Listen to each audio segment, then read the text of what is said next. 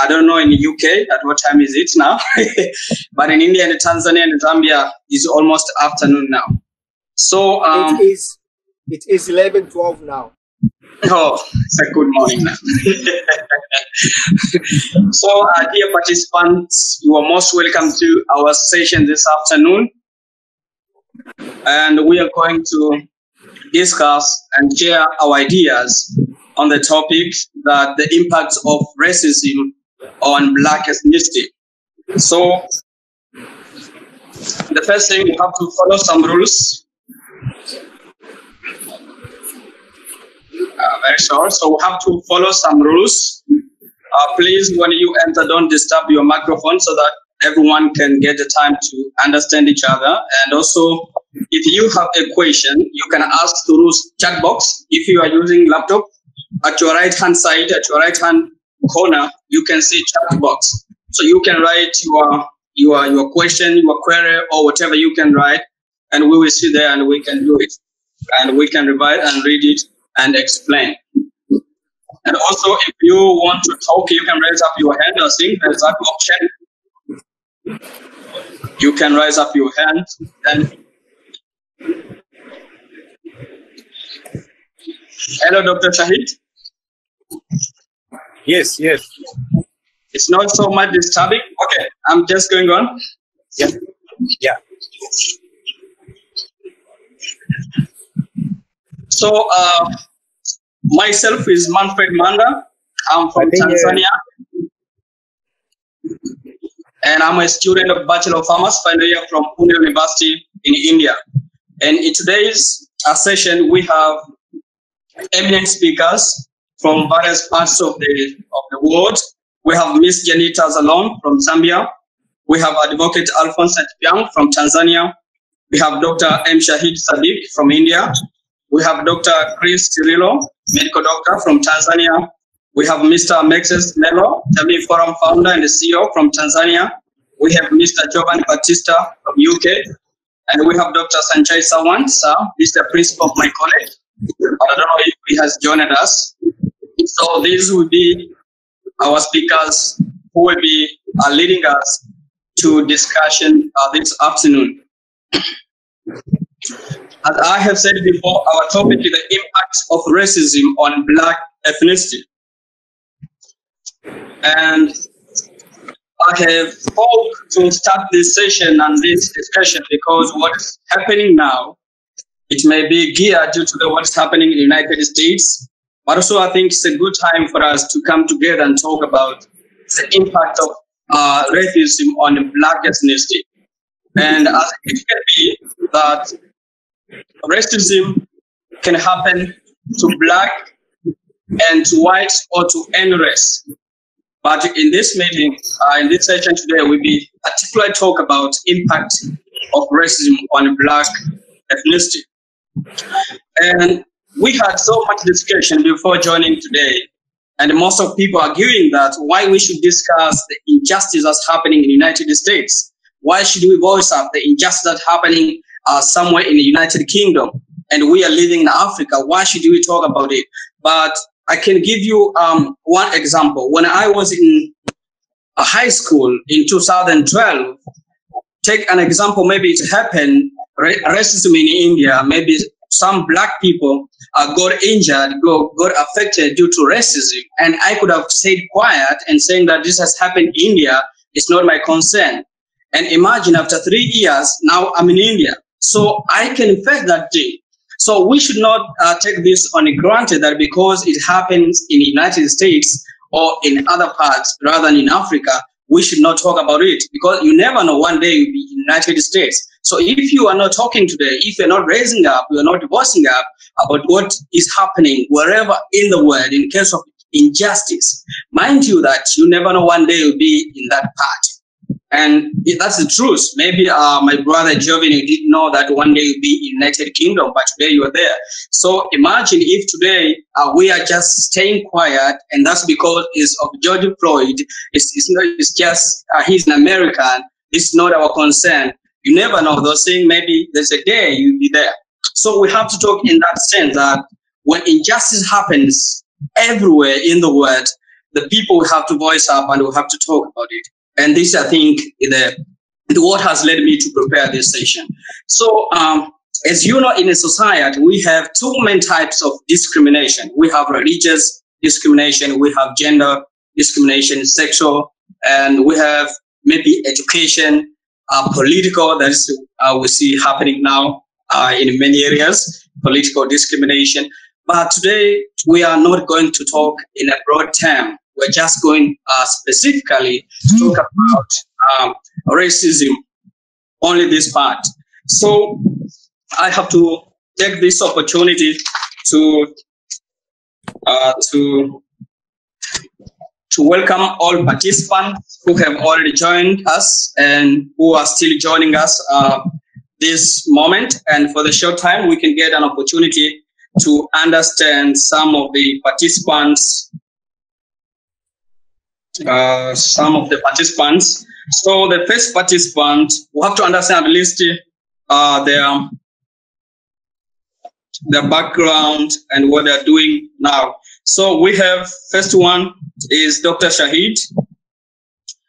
Uh, he's a development analyst, media strategist, and a human rights campaigner based in India with a vast experience as a journalist for one of the most watched television network in India. For the last 20 years, he's rigorously working to construct and reshape the belief and the structure of society.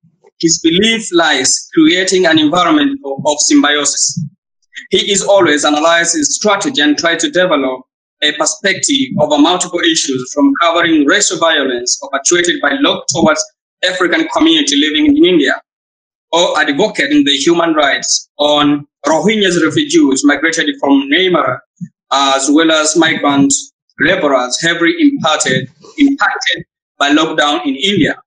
Through his not-for-profit organization called Association for Community Research and Action Despite being immersed in the traditional structure of media platform, he has made his presence in various social media platforms, ensuring the best use of such platforms. He believes that transformation is not a linear activity. What is necessary for transformation is to engage continuously and move towards the greater transformation with an approach of everyday activism. And this notion of everyday activism in his busy schedule is managed with his presence in various social media platforms. With his outstanding capacity to bring together and respond to government, civil society, the private sector, and other partners in creating opportunities and solutions for sustainable development, he has sincerely contributed for various fields such as environment, health, education, innovation, human rights, and sustainable rural development. And also we have uh, Dr. Christopher Cyril, he is a medical doctor from Tanzania. He is a Tanzanian medical doctor, writer, and human rights activist. Studied degree of medicine at Muhimbili University, Dar es Salaam, Tanzania, working with the Ministry of Health and consultant on HIV/AIDS control program. Author of the book Islahi za Uhalifu na Usalama. I think this is one of the famous books in Tanzania. Islahi za Uhalifu na Usalama. So that was Dr. Christopher Cyril.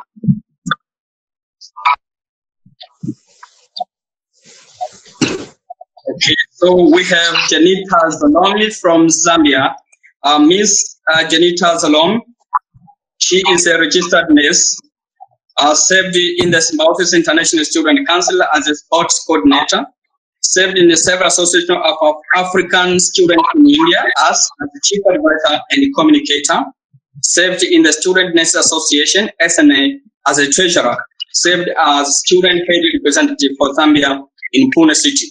Awards and recognition won the Chancellor's Gold Medal, award for the best ongoing student of the year 2018, given by Sri Ram Nath Kovind, the President of India. Secured an award of appreciation for the outstanding and dedicated service to Columbia Asia Hospital at an intern in the year 2018 awarded a trophy and certificate of appreciation for outstanding dedication and commitment to the Association of African Students in India chapter. Awarded a certificate of appreciation for dedicated service and special support to all Indian African Adventist Students Association Pune branch. And we have Advocate Alphonse Nachipiango. He is an adaptable and responsible advocate with practical and resourceful knowledge in legal matters. He has clear, logical mind with practical approach to the problem solving and drive to see things through better completion. He attended his LLB Hons degree at Mzumbe University in 2014. He also attended law school. He attended Law School of Tanzania in 2015 and 16.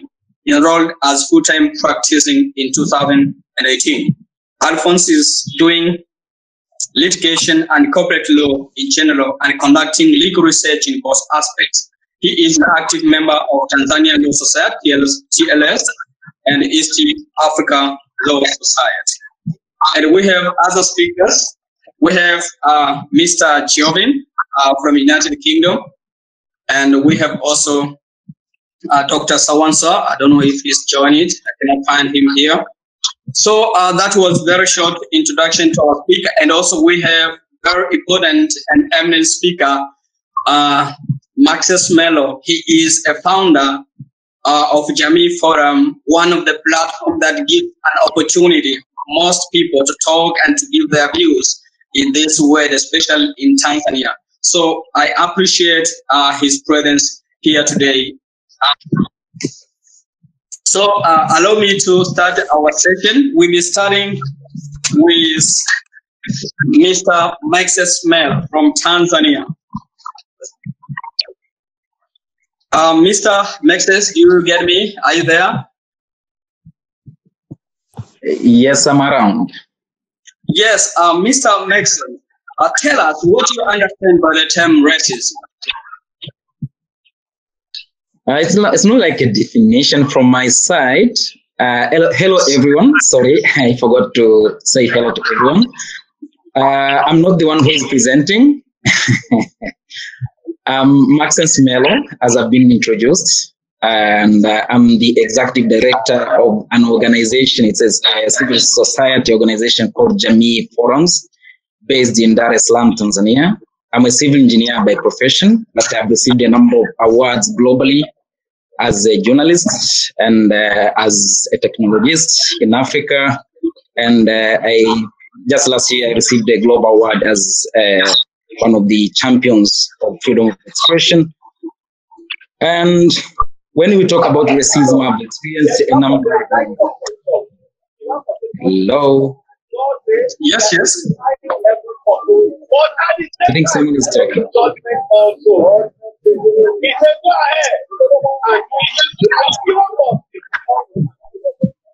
Should I proceed? Yes, yes. No, no, no, no, no, no sorry, sorry, Somebody must mute the microphone because it's so much Thank you. interference, Then we don't understand anything. yeah. Somebody is, is, Okay. is in double session. No, someone is it's- watching Lissu, and someone is with us here. So I can hear the voice of Lissu. You can't have both. You should, you should drop one. Okay. Okay. Um, so uh, when it comes to racism, I've experienced racism uh, when I was in many of these countries. I've been in China, I've been in India, I've been in the UK, I've been in the US. I've been in so many places and I've experienced uh, racism. So it's not about the definition; it's about something that I've experienced, and uh, it's it's here to stay. And uh, I think it's about time that we have to discuss this. And it comes when uh, our colleague or our brother Floyd just died.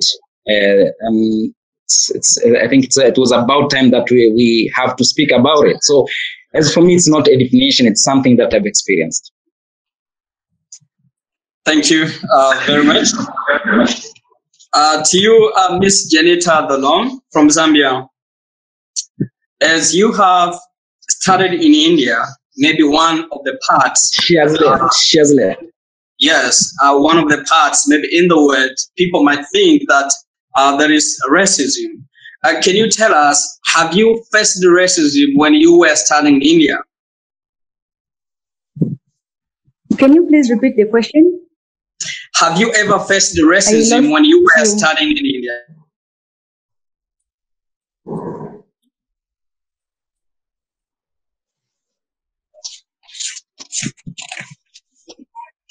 It's skipping. I didn't Okay, you. uh, I'm asking you if you have faced any kind of racism when you were studying in India. Okay. Um. Thank you very much, House. Uh, as um, Mr. Banda introduced me, I'm Janita, and I'm coming from. I come from Zambia. I did my degree in nursing from India, and um, I might say that I'm a victim of racism. And you know, studying in India was uh, very much stressful in the sense that you face racism in so many things. You know, like uh, I can give examples. For African students in India, there are some apartments or some flats where you, you can't rent because you are black. And apart from that, you know, apart from the COVID-19, even before the COVID-19 thing came in, the Indians already began to practice social distancing on African students. I remember very well uh, when you board on a public transport or a public bus, an Indian could rarely sit next to you black. On top of that, um, in the society itself, you as a black or you as a foreigner, when buying commodities or things uh, in the market, they would actually increase the prices for you as a foreigner. And this used to be very bad. And sometimes in colleges, lecturers would actually teach in Hindi, knowing that you're Africans and they don't know how to speak Hindi. But they would opt for using their language and then so that you cannot understand. Apart from that, we used to face discrimination in terms of um, Indians looking at Africans as the drug dealers and also as prostitutes. You know, when you're hosting maybe a party at home or maybe you're playing music at home, your neighbors could actually call the police on you to report you to say there's music, loud music in the house. And when the police comes to your house, they would start asking you to say, do you have any drugs in the house? You know, and also apart from that, they would even take you to police because of playing simple music in the house. But if it's a fellow Indian, that never used to happen. But it only used to happen to Africans. And because of this, the racism that I used to face, I personally, I felt uh, I never used to feel at home. It's not everyone who used to practice this, but it's some Indians who used to do this. And at some point, you feel like maybe it would have been better if I had studied in my own country or if I'd stayed in my own country than coming here to face this, this kind of racism. I remember at one point I was with my friend and then at, um, in the middle of nowhere, the landlord asked to move out of the house. Why are you asking us to move out of the house? They didn't any reason why they were kicking us out of the house. And then I told my friend, so when I go back to my country, we'll be treating the Indians the same way that they're treating us. But thank God we're good people and then we don't treat them the same way that we do. Apart from India, even here in Zambia, racism does happen. Do I go on, Mr. Banda? Mr. Manda, Okay, you wanted to you stop a little bit now? Yes, we can come back to you later. Uh, Dr. Shahidi Sadiki, uh, as we, I met with you several times, and you have dedicated your life to serve for uh, for, for for Africans who are living in India. Uh, as you're among those people who are from the community that we are claiming has racist, uh, racist, uh, racism and has got uh, racist aspects. Uh, what has has has led you to come in the front line to go against of the majority of your community and now to stand up and talk that to tell your, your, your society that we have to stop racism? What has led you to be in that top? See, I tell you because uh, uh, being a journalist, I encountered several stories, you know, uh, off and on that was manufactured.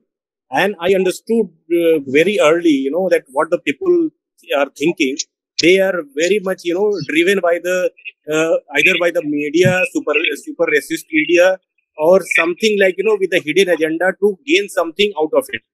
You know, so these are the things that I understood very early. It was 2009, you know, when I took as a very serious subject to fight against my own community in favor of the people, those who are coming from African countries for studying, for health checkup and other things. Because I was uh, uh, hearing about it, but being a part of the media fraternity, I was not very much comfortable, you know, in talking, you know, double standard.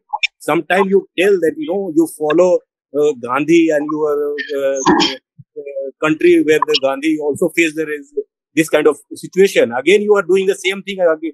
It, it's a kind of hypocrisy. So I started studying about it and I found there's so much resemblance and about the Martin Luther King and Nelson Mandela, Gandhi's ideology, lots of things were like resembling. If I have to be like two human being, you know, that you claim to be an, an Indian, so India is very much close to Africa. Eh, when you read the history, so lots of things like, you know, they're similar, you know, uh, and we cannot discriminate on the basis of the color or the racism. And I am, I belong to the minority community. I also face in a different way. Religiously, you know, you you must be hearing about the communal uh, hatred and other things. But for that also, I have to fight for, for myself and again fight for the community who are our guests. They are here for some time. They are a real messenger uh, for the image building. You know, they are coming here and they are revenue generator as well. If you can say that, you know, the country they are coming and investing and they are paying money for your services. They are not at free of cost. And even then you treat in a different way, then it's like injustice against any humanity. So that, that uh, forced me to create that kind of, you know, activism, uh, being into the media. So I started doing the media activism against racism. So we uh, campaigned several times, like uh, with the uh, tag hashtag, do I look different? You know, among them. And several times that when uh, that Tanzanian girl that was, uh, she was uh, murdered in uh, Bangalore and the Congo student in uh, Delhi. So still, I remember that tooth incident, brutal incident without any cause and all. So I was also there on the front line to uh, to you know uh, protest with the African students. Even now, still since 2009. I'm still I'm still uh, doing the same thing wherever I go in the metropolitan cities. I try to bring both the community, Indian and this African community, to know each other very well because uh, without understanding each other, you will not understand their feelings, not understand their problems. You will not be close to them. So that is why that forced me to take up this issue just for the humanitarian ground. But I will be continuing this one, you know, to expose more and more you know, ch- challenges as well as to uh, uh, give the positive impression about the African students. There are very, very good, talented people, you know, from Africa that I have met my life. And they, they deserve much more respect than what they are having right now. So these are the things that uh, that driven me, and I'm still hopeful that some someday it will change. Thank you very much, Dr. Shahid, for your views and what has led you to participate in anti-racism. And you can, and we can see that one of the things that has led him to be in the front line is because of exposure got and also the studies and experience he has passed through. And to you, Dr. Chris Rilo, are you there? Can you tell us uh, what is racism according to you? Uh, racism. Hello, hello. Yes, yes. Continue. Carry on. Am I heard there? Yes, yes. Uh, asking me about the racism. I think if there is one definition of racism, but uh, if we have so many definitions, they all amount to discrimination or denying someone humanity privilege uh, in different aspects. Education could be health aspect, could be economic, uh, could, be reception of goods and everything. So, so, and now we are seeing the the response of Cheta, Europe, is the nation. Hello, Dr. Cyril. Please, can you hang up a little bit because we're not getting you uh, very well. I'll, I'll, be coming back to you soon. Uh, to you, Advocate Alphonse Nachipiango, I think are you there? Uh, what is the racism as as per your views in the legal aspect? What do we see um, racism in a legal aspect? As you are the advocate, can you please tell us on that? I think he's joining now. Okay. I'm not sure if he's there.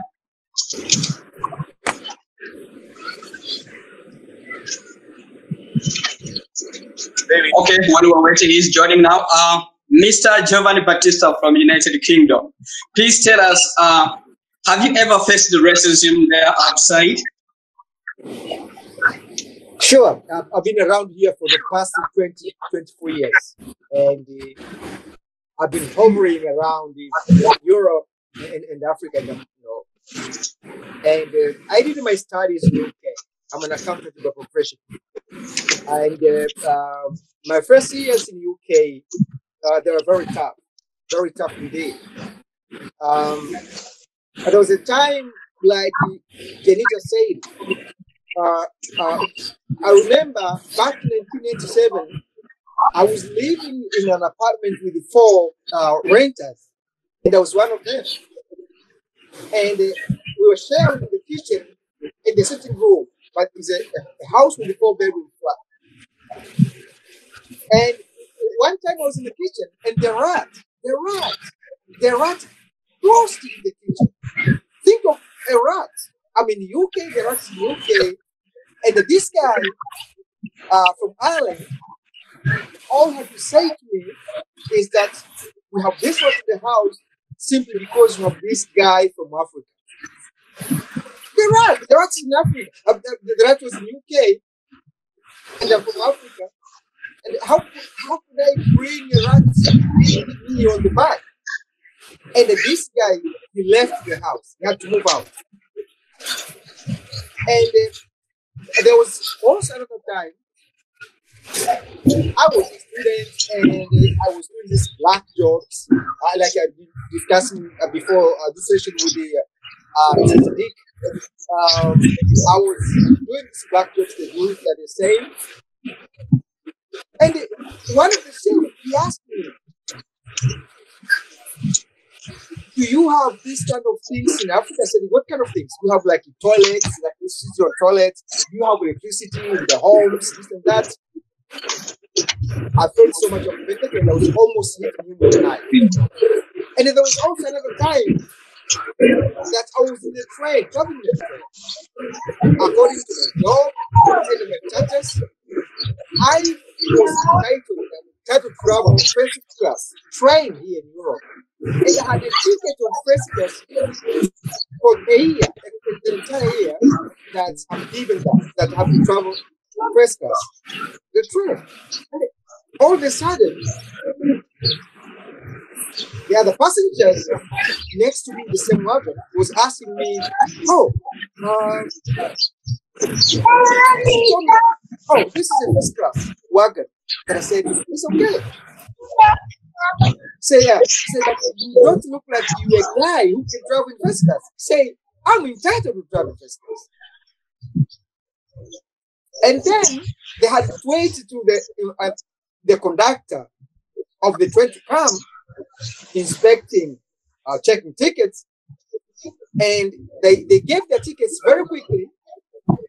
And uh, when that day came to me, I had to fake like I can't find it. Look in this pocket, like I can't find it, like here, just to show them that probably make them believe that I didn't have a ticket to travel, a proper ticket to, to be in the first class uh, train. But later, I took out my ticket that was showing them that I am entitled to travel first class for the entire year. The second question from them after that is, how can you manage to travel first class and your ticket has no limits? Ours has a limit that you get on the train from 9 o'clock, but yours is like anytime. How, how come? How, how, could you get this? And the, the answer back to them was this: Sorry, you are too late. You should have asked me this question before you start assuming that I am not entitled to travel in first class this train. So uh, at least you can see what I've been facing for many years. But again, I had to adapt and get used to it. Yes.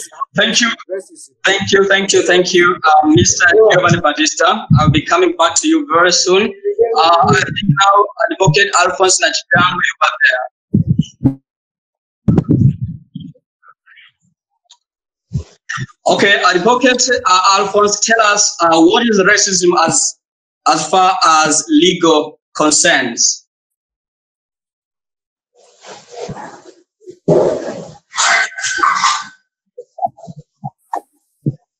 I think still is getting trouble. Okay, we can. Uh, Dr. Sawansa, are you there, please? If you are there, he's not there, I think. There's Professor something. I see Professor, Professor who? No, it's not. Uh, he's Sawansa. Um, Dr. Cyril, are you coming back? I think you are back now. Can you join us and tell us a little bit of the history of racism as as aspects as what you know, what's the history of racism, when the racism started, and how how uh, does it start?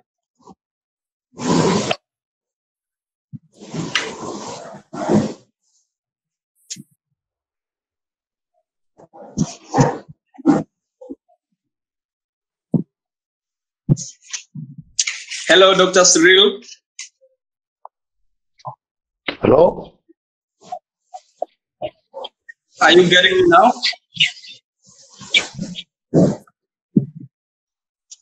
There is still a problem. Okay, let's go to Mr. Maxence Melo. I think uh, you are there.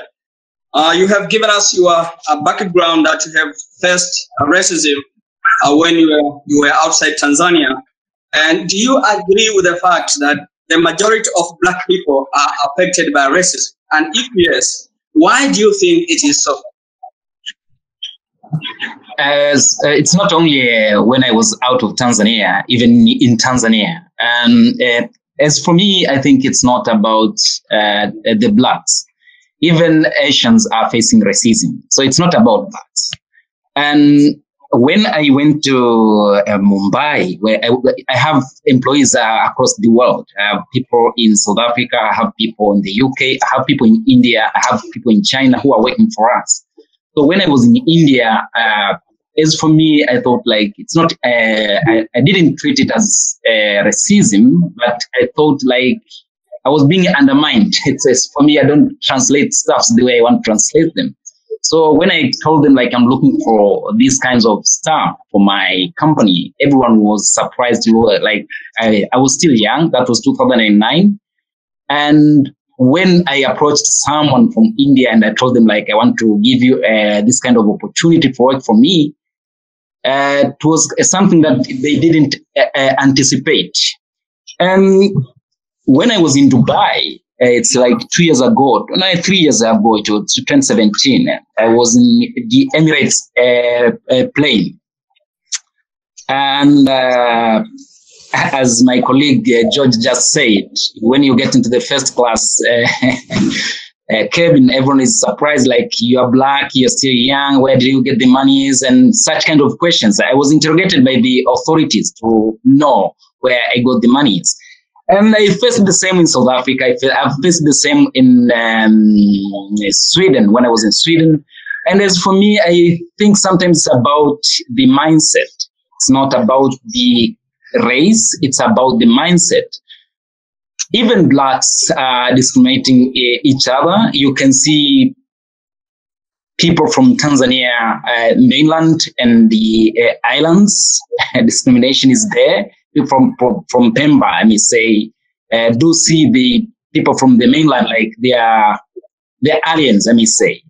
And you can see this kind of conflict between Tanzania and Kenya so it's not about the race, like the color. It's it's it's a mindset, and uh, we need to change this kind of mindset. As for me. Thank you very much, Mr. Melo. And now we're going back to Dr. Shahid. Um, as you are from Indian community and you have grown in Indian community, um, actually tell us uh, what the secret, what the Indian in the normal community think about black people. Just tell us the truth. What are they think about us when they see us? When they maybe when we meet with them, what actually do they think about us, especially black people? So it's a very good question and genuine question, you know, to understand what is the feeling when they see so actually, this is a, uh, this is a part of ignorance. You know, they don't know what Africa it is, what the people uh, are from. You know, because if you talk to them that you are from Nigeria, you are from Sudan or somewhere, any country, they just know Africa. If they even don't know that you know Africa is mixed of uh, uh, 54 countries, it's they think that it's just Africa is the country. so you can imagine that what kind of you know knowledge they have. And another thing that you know they have been you know brainwashed by media people or some uh, you know uh, their uh, other people, those who had been the, you know with the prejudiced mind that these kind of look you know when they tell their story to their children, they tell the very dangerous man in the shape of uh, with the, the, black looking, dark looking something. You know they create something image in their mind. As you see in the film also, if you see in India, all the criminals are uh, wearing the skull cap to show that they are Muslim. You know, in that uh, mindset, you know, when you think and you start resembling, and the poor people, those who don't know much about Africa, they don't have education, they think and they get scared. No, that to see this kind of because they have heard about this kind of thing that you know they they, they are dangerous, they are they think that you know they will attack something. So this kind of notion, you know, that has uh, this kind of thoughts has been created and manufactured by the uh, super racist people, you know, those who believe in the, uh, you know, this class in the society, upper caste, lower caste, something like that. This kind, so they create this kind of thing. And even in India, not about Africa, even in India, the uh, dark skinned people are treated as a lower class. You know that uh, scheduled caste and scheduled tribes, they are also with the dark skin in India itself. So they they they have this kind of prejudice mind. They are the uh, basically they are tuning their children with that mindset, knowingly or unknowingly, that they are creating the racist generation. You know, on and on. So this is coming in a that form. Now this has become a part of politics. So it has become international politics. In India, it has different kind of racism. You know, in the casteism, racism. So this is playing a part, and they are gaining both of that. This is a part of mobilizing their own community and and, and confronting other community that they are in the minority. minority. These are the things that you know we have to to fight this kind of situation. We have to be more vocal.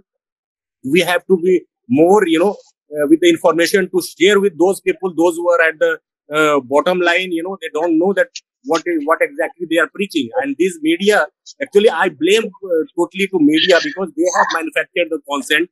Okay, and whole over the world they have created uh, this kind of mindset and they have pushed the people to think in that way that they want to see the world. So this is Thank you. about the things here. Thank you very much, uh, Dr. Shahid, for your views. And now we go to uh, Mr. Giovanni Battisti from United Kingdom.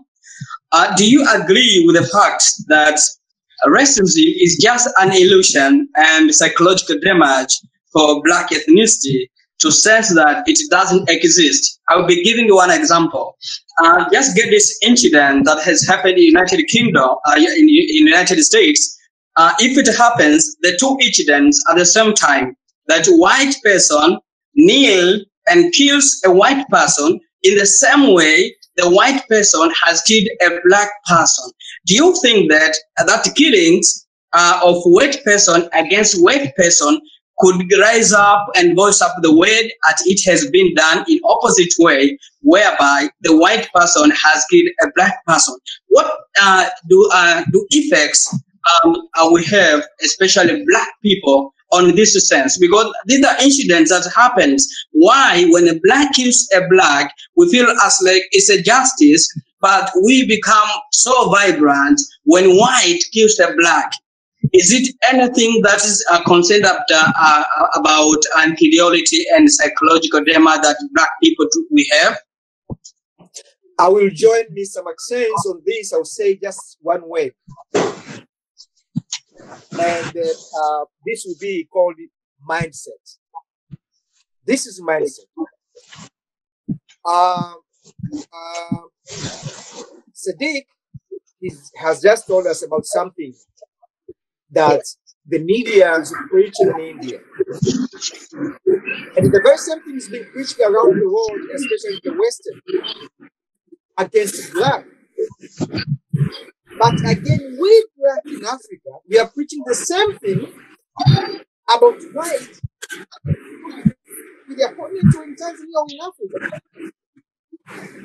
If you go to uh, the Middle East, you see the same story that's happened between the, the Israelis and the Palestinians. Mindset. We have a problem of mindset. Mr. Maxence said here one thing, and that's very big. Discrimination or racism is something we can say is something is, is in, inborn. So it's, it's only seen or discussed or talked about when it has got out of that person. We had problems in Tanzania, for instance. We know somebody like Mwangosi was killed in the same way. We didn't see anybody in the street. People they were just quiet, but he was killed by police. And with more more people who are dying under police in police hands. We have never heard anyone raising their voices. Not even those people who calling themselves human rights people in Tanzania. They can write today and tomorrow they're quiet. They're only giving statements. and finished. And now, to me, I was discussing to Mr. Um, to Siddiqui before. He used the word hypocrisy. This is a hypocrisy we are tending to see what is happening in other people's nations, and we don't stick to what's happening into our own homes where we are. Everybody is racist by nature. Everybody. Everybody. But the timing is when do you release this pressure? Uh, look here. I'll give you an example. If I come from Europe today with probably a woman with me, girlfriend or wife, or two white guys with me, I'm landing at Dar es Salaam International Airport, JK Nyerere Airport. Out of the airport, probably I want to grab a taxi. A taxi driver will come to me and I will say, I'll be very specific. I'm going probably to Mwenge for those who knows the distance. And for those who know the distance, they know that the price from the airport to Mwenge normally is 50,000. That is almost uh, uh, uh, 20 or 15 pounds. But because I'm with those two whites with me, the price will be uh, probably from here to Mwenge is going to be 80,000. The price has doubled. How do you call that? What do you call that? That is racism. It's racism. It makes no difference from uh, from those ones that we're depriving the right of me going into a pub, depriving the right of me going into uh, probably uh, somewhere to socialize. And again, somebody talked talk to me about something. He said about the ignorance. Most of the people with this kind of mindset they're ignorant. They got no education. They know nothing about the world. They only know their incited world. If you travel, if you travel from Delhi to another Indian city and stay there for two, three, four weeks, when you come back to Delhi, you have a different mindset about things that's happening outside the Delhi. So for most of the people, even those people who seeing doing killing people, some of them, or others, those who are uttering words like, eh, why can't you go back to Africa? Why did you come here? Why do you do this? Why that? You're African, you're Indian, you are this. If you sit down and eh, go back to the background, those are the people who don't travel outside their countries. They are stupid, dumb people. A traveler, a traveler will tend to have an open mind. A traveler will learn how to accommodate one another, to accommodate one another. A very good educated person will always think about others. You have your ego, but you be ready to learn. You have your richness, but you'll be ready to see how the poor are living. You'll be taller, you'll be ready to listen to the short, uh, the short persons. You'll be fat, but also the skinny one, have something to say. Listen. So it is a mindset. This is the mindset is something very bad. Now I think for us to have uh, a better world in India, in China, in Tanzania. Thank you, thank you, thank you very much. Hang up a little bit, please, um, Mr. Giovan. You have talked a lot about mindset, but I have a doubt on top of mindset. And my doubt will be going directly to Maxence Melo. You'll be answering this question. We're talking about mindset and ignorance. Yes, I can agree with you on that sense, but when it comes that the racism is happening much more in the countries like United Kingdom, Sweden, United, uh, United States, where the rate of ignorance is very low compared to African and Asian countries. Uh, what is your comment if we are talking about ignorance and happening in, the, in, the, in those countries whereby we say they are educated countries, enlightened countries? What is ignorance in this sense, according to you?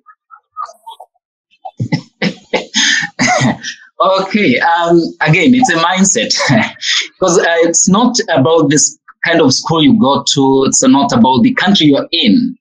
Uh, there's a, a, good number of ignorant Americans, ignorant Chinese, uh, even ignorant Africans. It's, it's, it's a mindset. It's not about the race you're in. A, until people are well trained, you know, it starts with the uh, the executive, I mean, say the governments, if they happen to have a kind of uh, training that they can help their people to adapt, like you can live with other people of any other race or someone of, of, of, of, of, of another nationality, not from your country. You know, people do have this kind of, you may have this kind of education that you may have, for example, you have been educated, you have been in India, and our sister uh, from Zambia said that she, when she she experienced this kind of hate or uh, racism when she was in India, she felt like once she's back to uh, Zambia, she could do the same to the Indians, but she had to change the mindset. So it's still a mindset. It's not about the race. It's not about the kind of education you have. It's a mindset. Thank you uh, very much, uh, Mr. Melo. Um, again, to you, Mr. Mel, if you are given an opportunity today to give the solutions that will eliminate racism, what would you like to suggest? One, it's a, it's a, it's, it's, I think it's high time that it should be one of the UN agendas on ending this kind of racism. It's yes uh, among the global goals, but it should be something that we should deal with seriously from 2020 to 2025. I believe if the UN at large takes this as a serious matter, I believe in the next five years things can change. It's not about me; it's about the UN at large. Thank you um, very much. Now to you, uh, Ms. Jennifer from Zambia. Uh, do you have any solution you can suggest to end racism in the world? Uh, thank you very much. Can you hear me? Yes, yes. Yeah. Uh, so uh, I think personally, uh, racism is affecting uh, each and every race that is a victim of it very much. And uh, the way we can change this racism I think it's by educating each and every person to say there's no one who is inferior.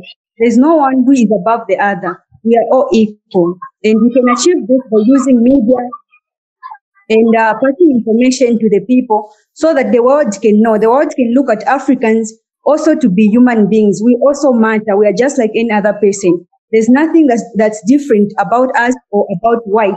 We are all people. You know, so if we can use media in other um, uh, in other uh, ways or, or, channels of communication to communicate to the world, to say that Africans are also human beings, and there is nothing that is so special about white than Africans. I think this can help us a lot in fighting racism. Thank you very much to you, uh, Mr. Giovanni from United Kingdom. As we have seen, uh, most of that we, we see most of Africans who are black are moving to United Kingdom or to US maybe to look for maybe better life. And when they reach there, because they don't have jobs, some of them they go into uh, bad activities. Um, what do you comment on this? Uh, what should we do as Africans to eliminate or to reduce the number of people who are going to uh, those countries And when they are there, they don't have job. What they do, maybe the bad things, what can lead to reshape that black people are always uh, violent. What is your comment on that? I have uh, I have several things to say, but again, I should remind you also that I can see Dr. Cyril. Is, I think he's there, and the other lawyer, Alphonse, is there. I think he, we should try them again uh, after this. Uh, now, let, let me go, go back to the question.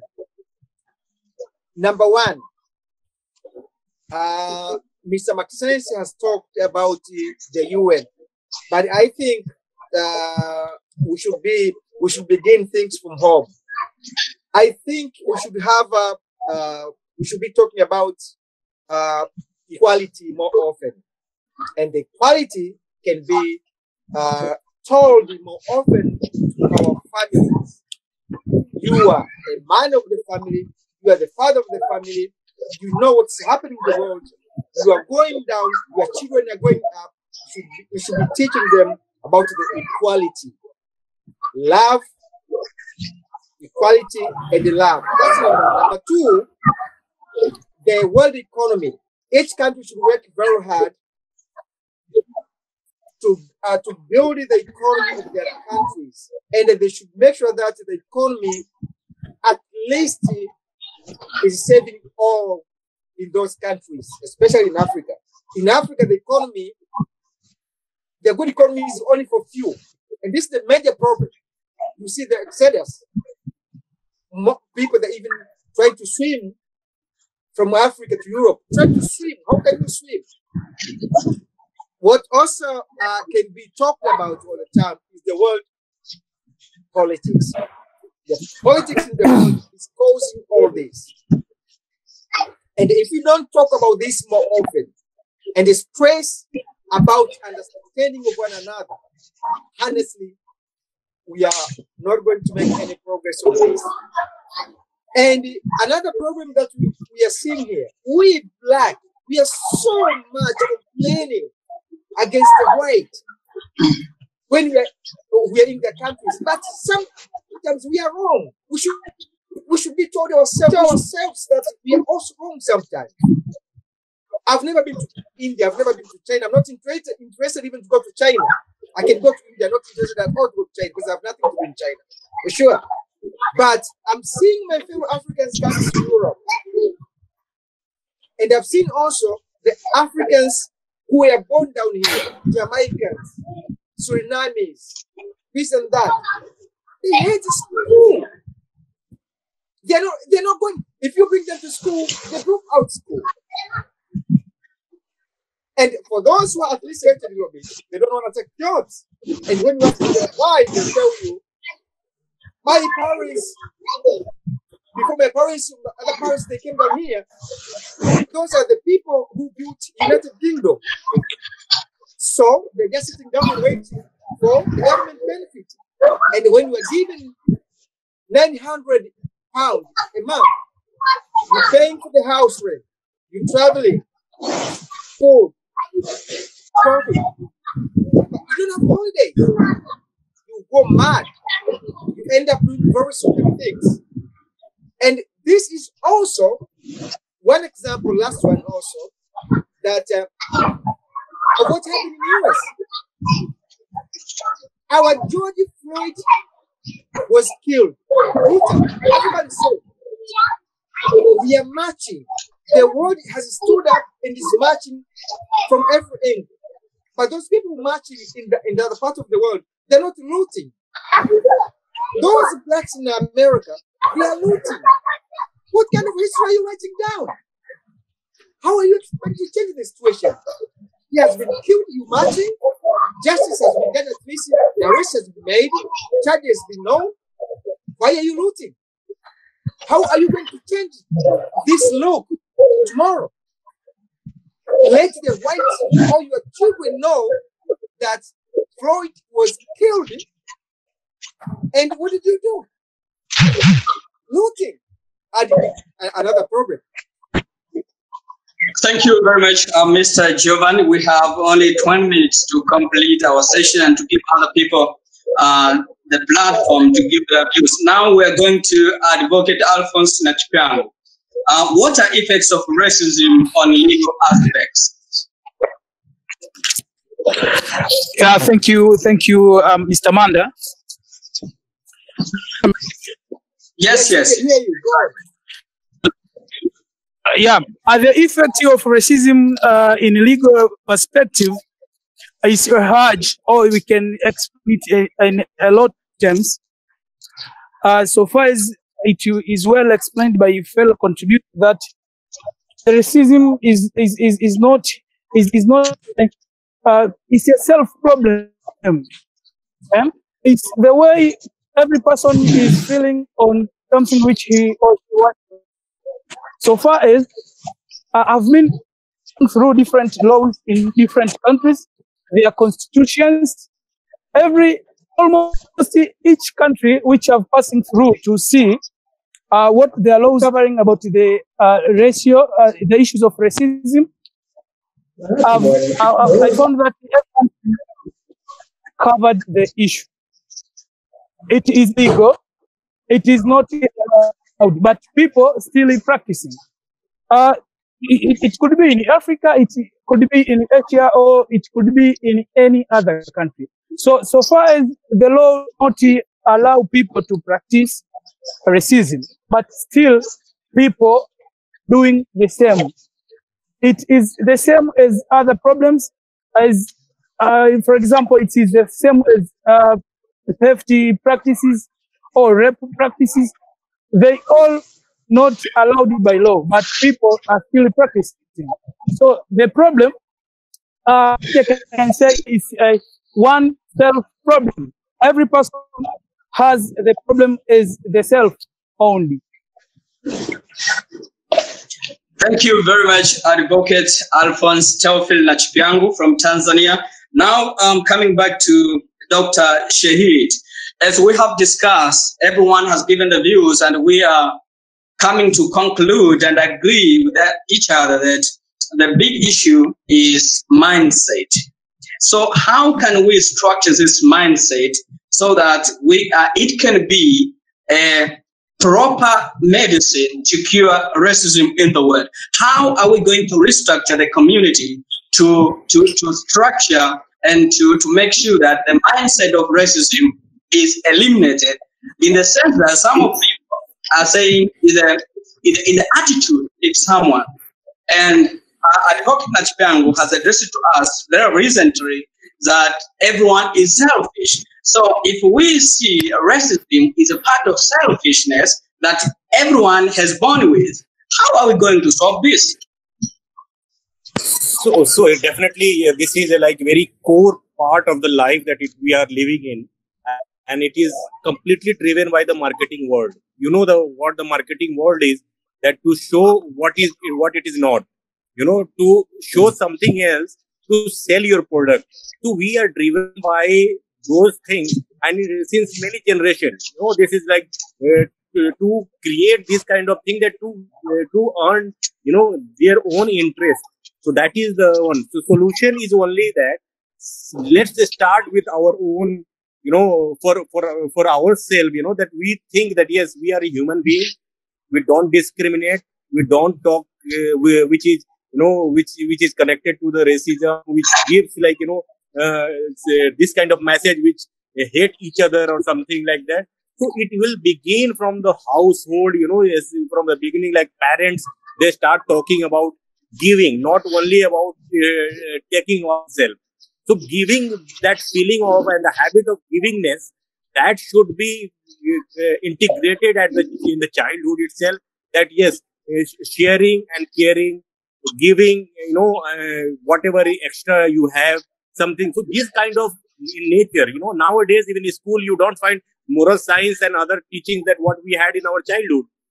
So these kind of teachings, it has to come up from the very childhood, from the parents, from the school teachers.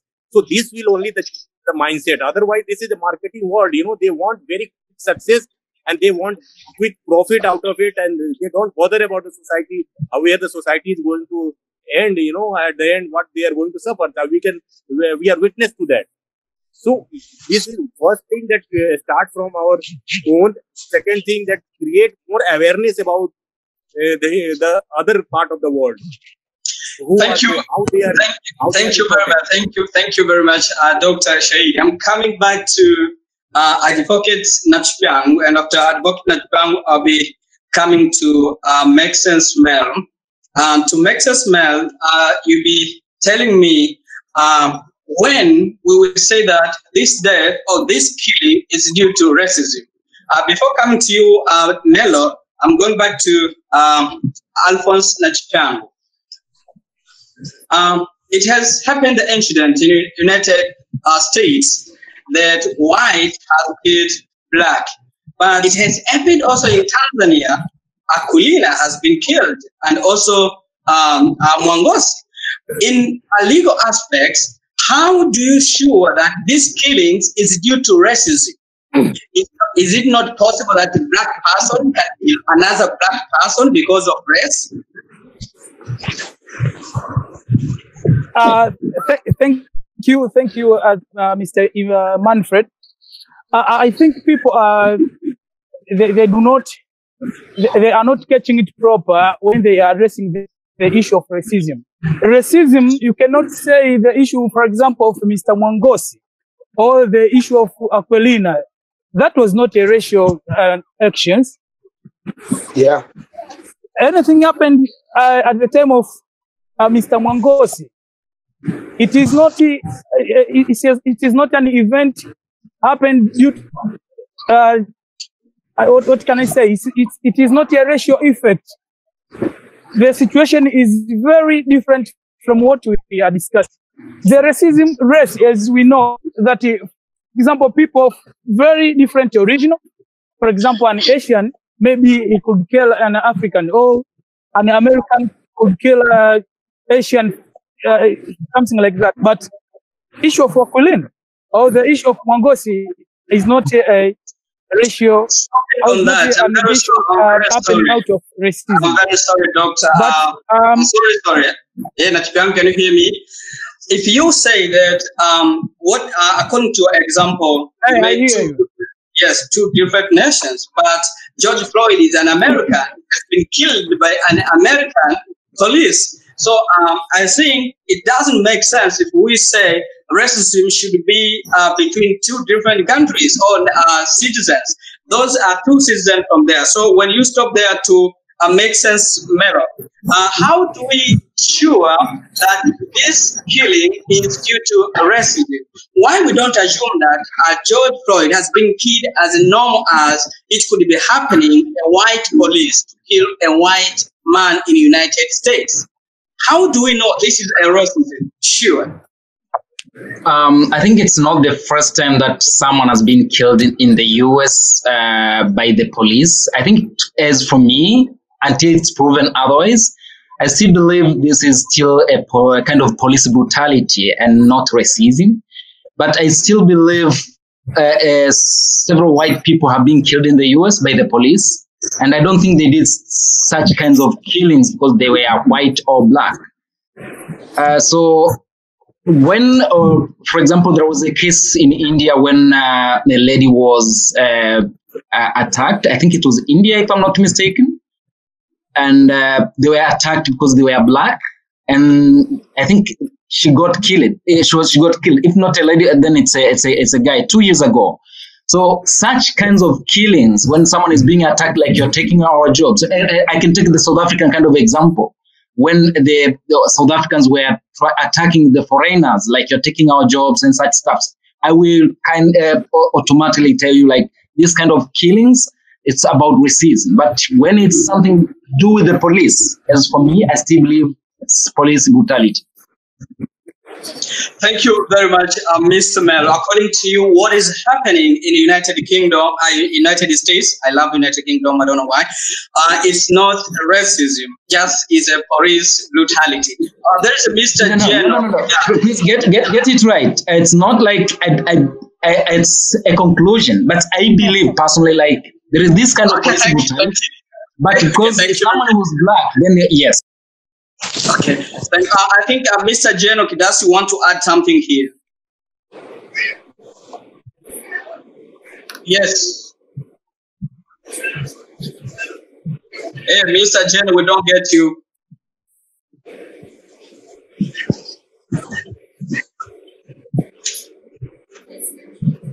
Okay, hang up a little bit. Okay, let's go now back to uh, to Mr. Uh, Jovan from the United Kingdom. Um, what is your last say on this issue?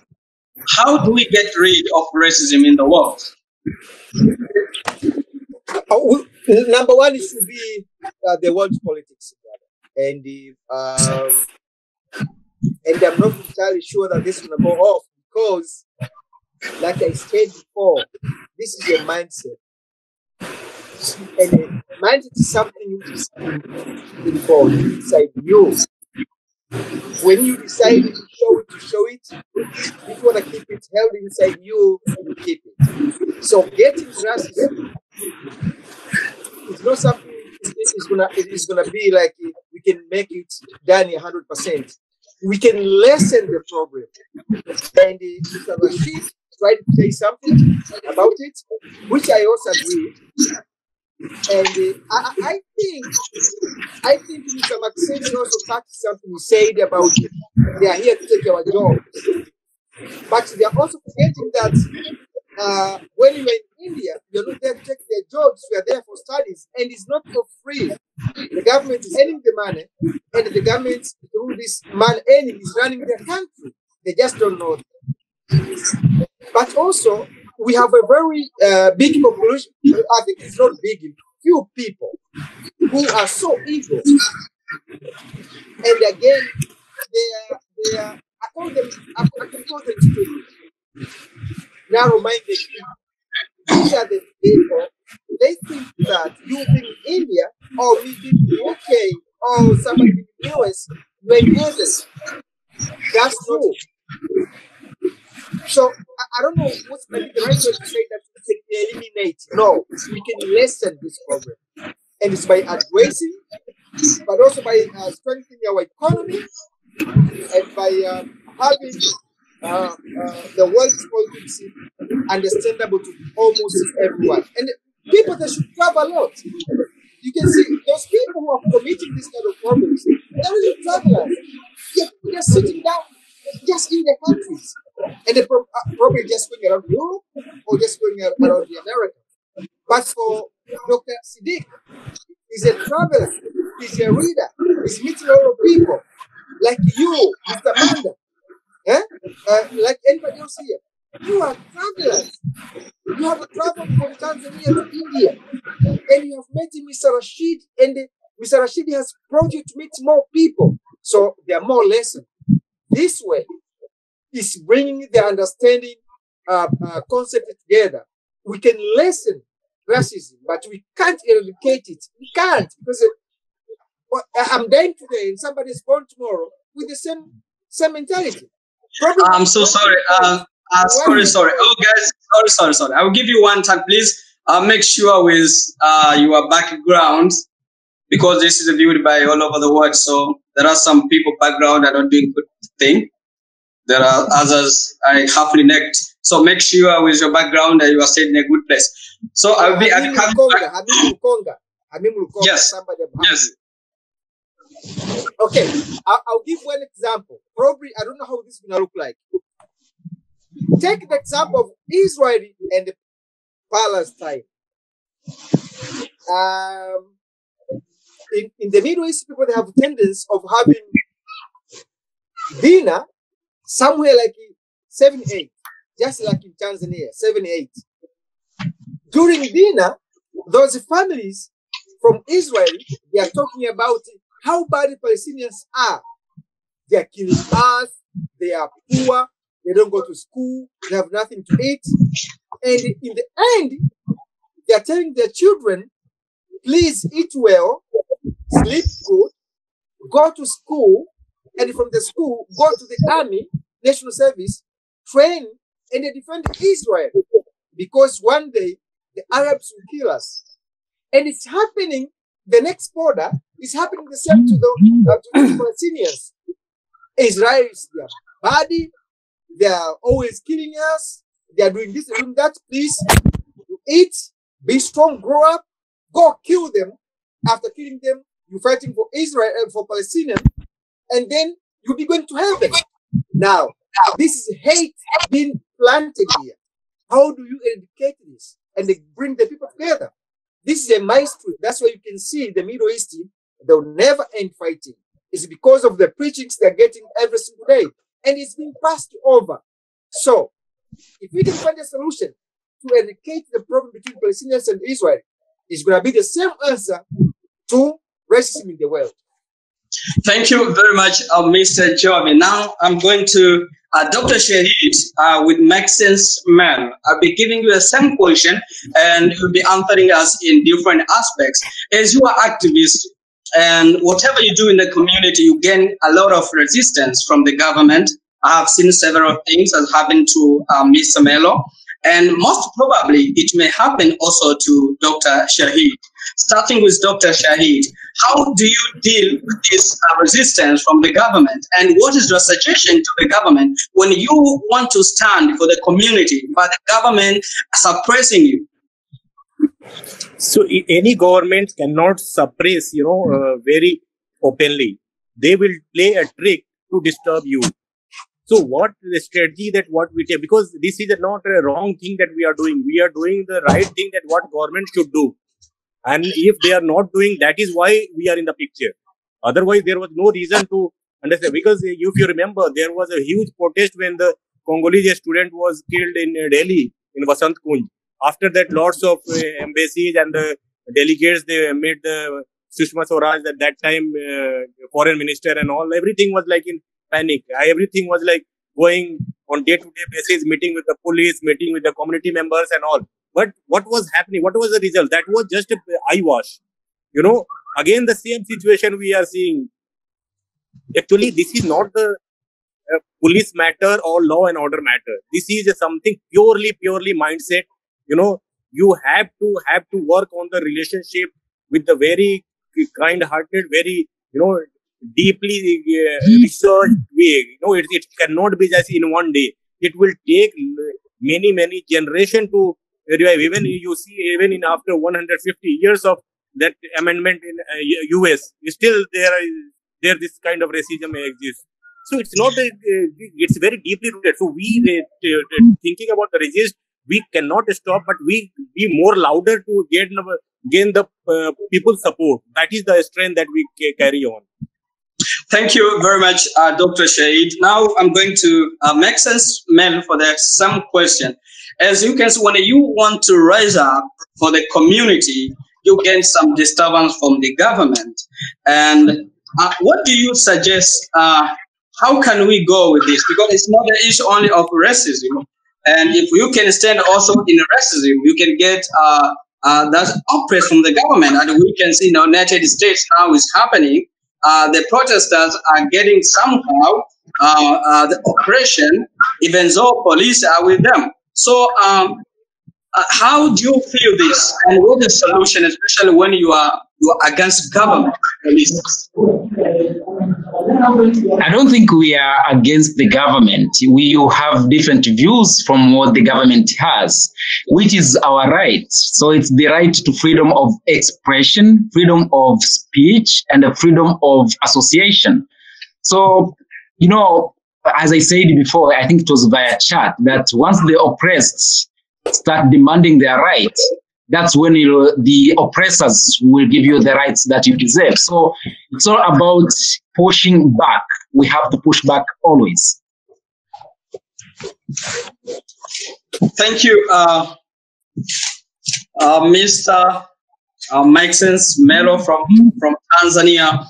Um, Miss Janita from Zambia, do you have a conclusive word on the impact of racism on Black ethnicity? Uh, thank you very much. And uh, yes, I have uh, concluding words.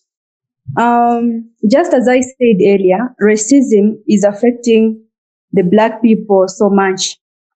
And uh, I think it's time that we should rise up and then we should, we should speak for ourselves and also for the community and also for a generation to come, you know, as it has uh, an effect um, an, an, a bad effect, a negative effect on the people who are affected. So this, I mean, this racism uh, issue, it's leading to a lot of psychological issues in our society. And I think we should rise up and we should speak so that it can come to an end. I'll give you an example of a Zambian who is studying in the Netherlands. Her name is Rachel and she's always complaining and sending some clips on social media seeking for justice.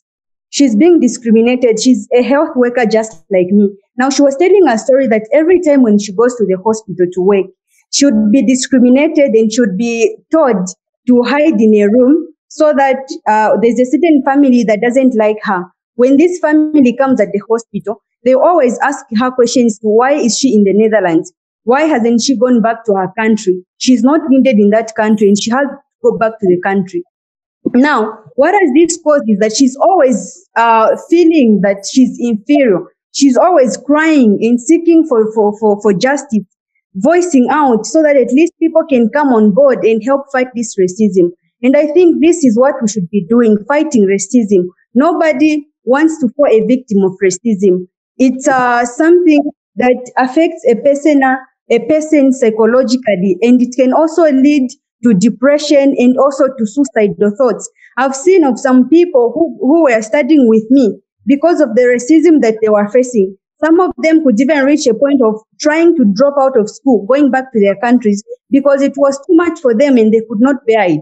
So as us, the, the youth of today, let us try by all means to fight this racism and to put an end to racism. If we do not voice out today, nobody else is going to speak on our behalf. It's us to speak and it's us to change the face of the world. It's us to speak out and fight and bring this racism to an end. I think those are my words. Thanks uh, so much, Miss Janita Zalom from, from Zambia, uh, one among those who have been affected by racism when she was studying. Um, Dr. Cyril, can you get us now, please?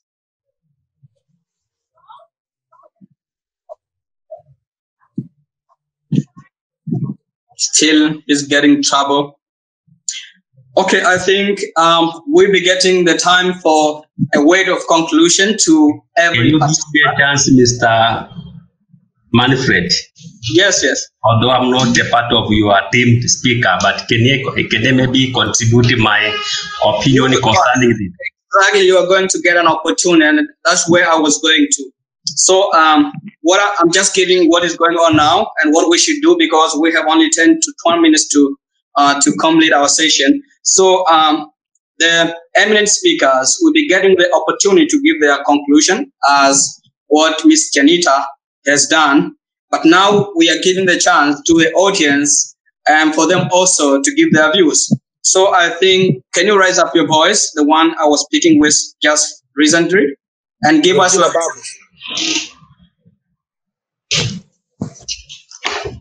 Okay, thank you, thank you, sir, for giving this opportunity. So I want to talk about this uh, perception of racism. What I can talk about this uh, in Africa, you know, sometimes we can call uh, racism because of perception. You know, when you don't, when you are powerless, you always feel like you are undermined, and due to this powerless, is is always why most of African countries they are saying that oh we are always uh, undermined by white but if you take it we take into the consideration uh, for example all these cases that are happening in the us are always happening in africa particularly in tanzania we are seeing this uh, even in government we have been seeing in the political party we the leading party used to say that if you don't if you don't select this party, you are not going to get this help. You're going to be undermined. You're not not getting this opportunity. So what you are supposed to do as African, we have to we must have self confidence. We must be we have we must be you, you must unite and we must have a confidence on what we are doing because if you don't value yourself, how could you how could you wait someone to value for you? You see, so all these are done because of African, how ourselves we are controlling. Because if you talk about like the killing of Mwangosi and the other people like Akulina, those are the cases that have been done by police. You see, but we didn't call it racism. Why? Because they, the, the African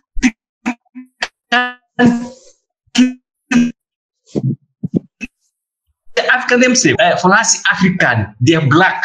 We used to go to you uh, to white to buy them the high weapon. For, uh, for those weapons, uh, strike weapon, very heavy weapons, we are going to buy to US, to China, to to, to kill whom? In the in those white in Africa, where are we buying those weapons to Africa?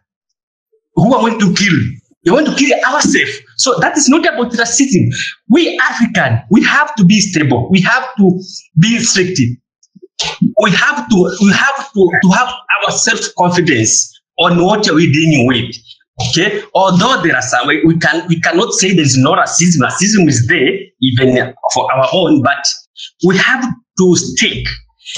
If you like this, don't do this to someone. Whatever is your same color, whatever to them, you have to be strict because you cannot say that I need right while you're not doing right for your for your fellow.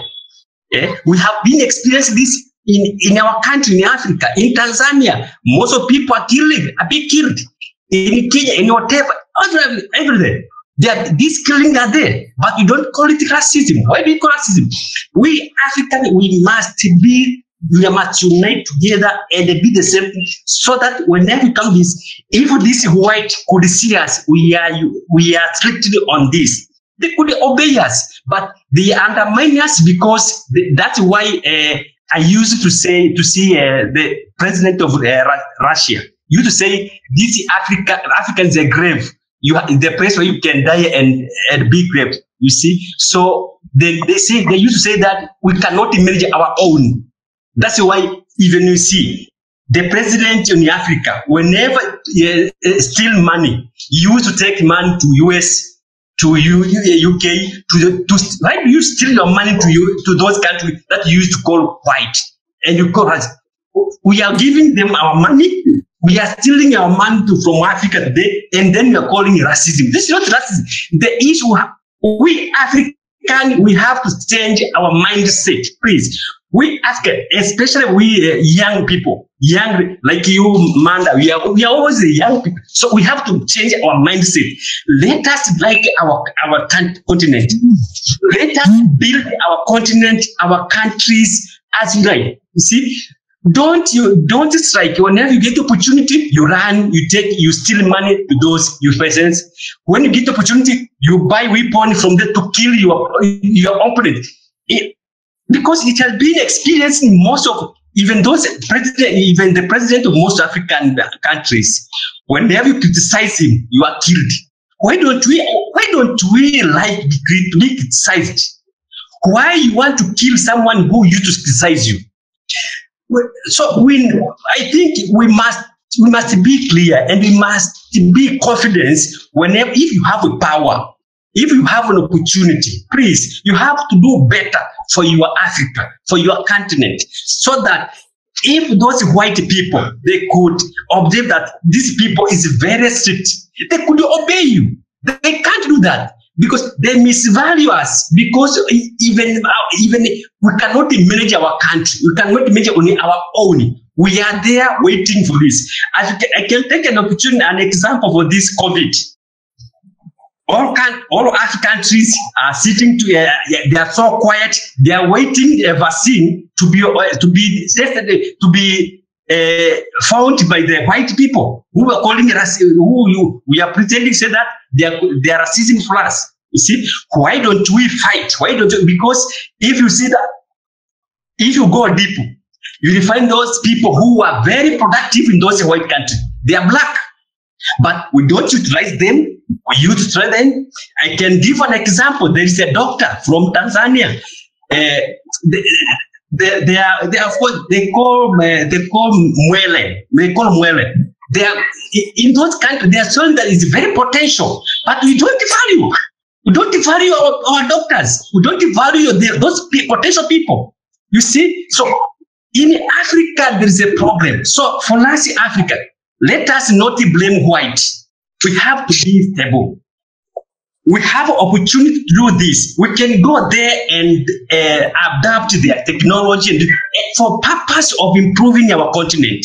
But if we keep complaining of white on white, we'll be there and they will be using this. So let us change our mindset, especially for, for I can see all of you are young. So let us change our continent, please. Whenever we go back to our country, let us work just intention, not don't target and don't say maybe this is my uh, this is my opponent. Let me kill him. No, the the someone who is um, potential. Take him, call him. I can see your potential. Let, how can we do so that we can get get up from this stage to this? How can we get higher? How can we go higher? You see? So for this, we can, even this white, do we, they will respect us. Otherwise, if you're going to kill ourselves, you can go uh, Ashabab. They are killing, they are killing themselves, African. You can go all this. We are killing ourselves. We are going to buy weapon to kill ourselves. Why don't we complain about this? Why are we doing this? We are poor country. We are not dealing with how can we move from poor country to higher like this? We are always there finding a scholarship, finding a sponsor. Finding, why don't we sponsor them? Why are you there for them? But if you see the, you know, the, the natural resources are all in Africa, all natural resources are in Africa. But we are taking them, we are stealing to, the, to, to these countries. So we, we young, we young generation, we need to come up and we have to be uh, smart enough so that we can develop our countries, please. Whenever you get a chance, whenever you get the opportunity, please work for the country, not work for your own. Don't work for to steal money for your pocket. Work for the country. They will, uh, the country will remember you. That was my contribution. Thank you, sir. Thanks very much for your great, uh, great contribution to our session. And this contribution has made me to rethink. And I would like also to ask this question, to address my question to uh, Maxence Melo before I allow other people to uh, to give their views. Um, we had this conversation, this speech. I call them nice speech. We had very beautiful speech from the time of Mwalimu Nyerere, Kwame Nkrumah, Nelson Mandela, and now we have the same good speech which maybe have only changed some little bit words, but they sound the same sense. We have also Professor Lumumba. He just talking about the same thing. How we're we going to make Africa great, great? But Maxence, Melo. Um, what do you think? Where do we fail? Um, sorry, I don't support what Professor Lumumba does, so I'm not his fan. So I may not talk about Professor Lumumba, but I think we need Africa as one. And uh, uh, when, wherever you are, for someone who is like Dr. Jo, uh, George, who is in the UK, whether you're in the in India, you are in the US, wherever you are, you should preach positive stuff about Africa. You should always remember that you are from Africa, whether you have invested in those countries, whether you are done whatever in those countries, wherever you are, you should always think about Africa. So we need Africa as one. We need to respect each other. You know, we have these kind of boundaries. Uh, we, have, we have our sister from Zambia. She's from Zambia, but I, I think she looks like Tanzanian. So we are all one. It's just a, a matter of just boundaries, but we are one. Africa should be considered as one country. Even though we have these kind of boundaries, we should, once you feel like there is any kind of injustice, in any neighboring country. For example, there is injustice in Zambia, there is injustice in Malawi. We should also think that injustice anywhere is injustice anywhere is injustice everywhere. So as for me, it's thinking about Africa as one and uh, treating each other as brothers and sisters. Okay, thank you uh, very much. Now I'll be welcoming the audience. If you want to participate, you can write your name in our chat box, and I'm giving some instructions there so that uh, you can be given the chance to give your views. Uh, There- this, this Hamim, the guy called Hamim is raising his hands all the time. Hamim, Sorry? this guy Hamim, Hamim Lukonga. Okay, Hamim Lukonga, where are you? Can you please unmute yourself and give us your views? Uh, hello, everyone. My name is Amin Lukonga. I'm currently studying uh, optometry in India. So, first of all, I would like to share my view on the point of, like what Mr. George said, racism is all about mindset. It's all about our mindset. Mr. Regina Babu, uh, he was here saying that uh, we African, we should, uh, like uh, what is happening right now, what happened in Tanzania, Apolina. I think we should not uh, mix uh, police brutality with racism. We should first understand what is all about, racism is all about.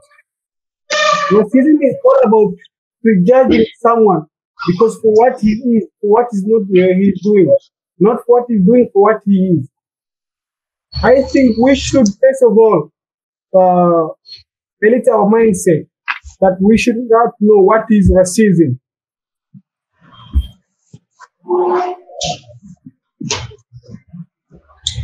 Hello, I mean, I think, are you done? Or there's an internet problem? Okay, there's one uh, participant, Priscus Moya, I think. Uh, you are invited, and Priscus Moya is one of my classmates in high school. So you are most welcome and thank you for supporting me and joining us in this discussion. Panel is yours. Thank you very much, Mr. Manfred. Hope you hear me. Yes, yes. Yes, this has been a very interesting discussion and I'm very happy to be here. But I also would like to share my views as you are one of my classmates. For me, I think dealing with racism, in some ways, racism is just an outcome of some of the problems in our societies. And if we want to address racism, I think first we have to deal with the of the racism. So if we are just dealing with the outcome, we'll spend a lot of the time. First of all, I think we need to emphasize our people understanding the common value of the people. That is the global agenda, that all the people in every country have the same value before everyone. You can see here in Tanzania, you cannot even eat some of the kind of food before some of the religion persons. Maybe you are Christian, you cannot eat pork before Muslim, and Muslim feel if you eat pork before him or before her. And if you remember, even when we was in high school, there was some of the issues between Muslims and Christians. Even in the group discussion, you find some of the people because they are Muslims, they assemble together to discuss about subject and they don't engage someone because he's Christian. So you, you think uh, he's a virus to enter that discussion.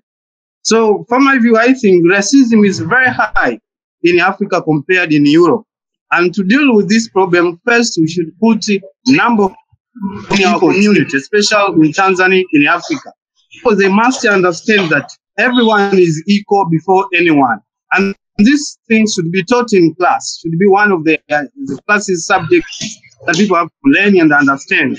Because now we are studying, we are at school, and maybe we'll join the international organization to work for the various countries, in different places. So everyone must have his own culture, as also know that culture is the total way of living. Everyone has his own kind life of lifestyle, how, how he or she lives.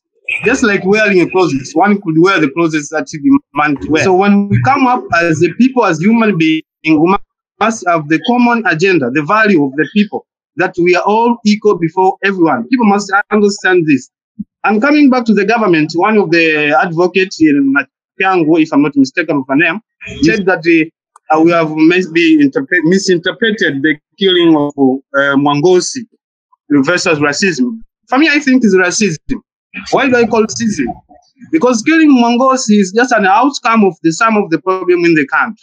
Why would we say even killing of Apollina is racism? Because racism may also be facilitated, with the economic value. That because uh, maybe Apollina is coming from the poor family, no one can stand up, no one can come up uh, uh, demanding for our rights. It's racism. Let's take, for instance, if Apollina was coming from the high class family, from the lower family, the case could not be handled as it has been happening in our country. That is racism. Mwangosi was killed. So we are demanding the government, because they are the one to address the challenges, the problem that we face in our country. So government should be there, making sure that the people understand the differences of tribes, difference of uh, religions, and everything. So I think we should be eliminate these uh, conformities, making sure that everything is running all the way. Otherwise, yeah, I thank you very much, Mr. Manfred, for welcoming this valuable discussion. And I think this is a change that we address it towards racism in the country and the global. Thank you. Thank you very much, uh, Mr. Priscus Kasmi Mwaya from Tanzania. And now I'll be welcoming uh, Catherine and Nelson. Uh, at that time, uh, Geno Kidas, you have to be prepared. Catherine Nelson, you are most welcome, and she's also my classmate. This is a lucky day to me. Hello. Can you hear me? Yes, exactly.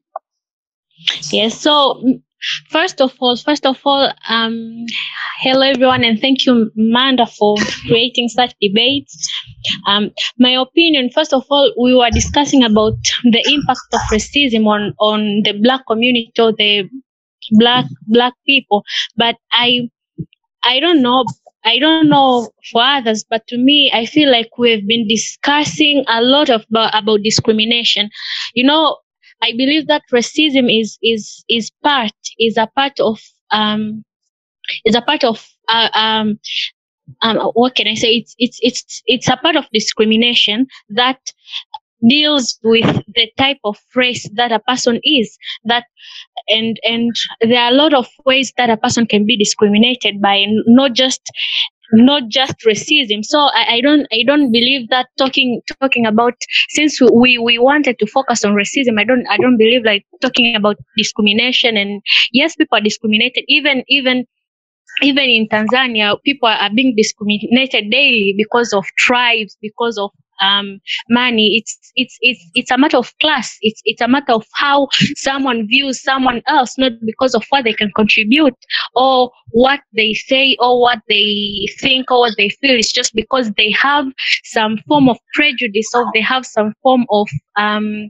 biases and uh, preconceived notion about certain kind of group and that is discrimination generally but when you're talking about racism it means that you are discriminating someone for the solely reason that they are of a certain race because you have pre preconceived notion about that race.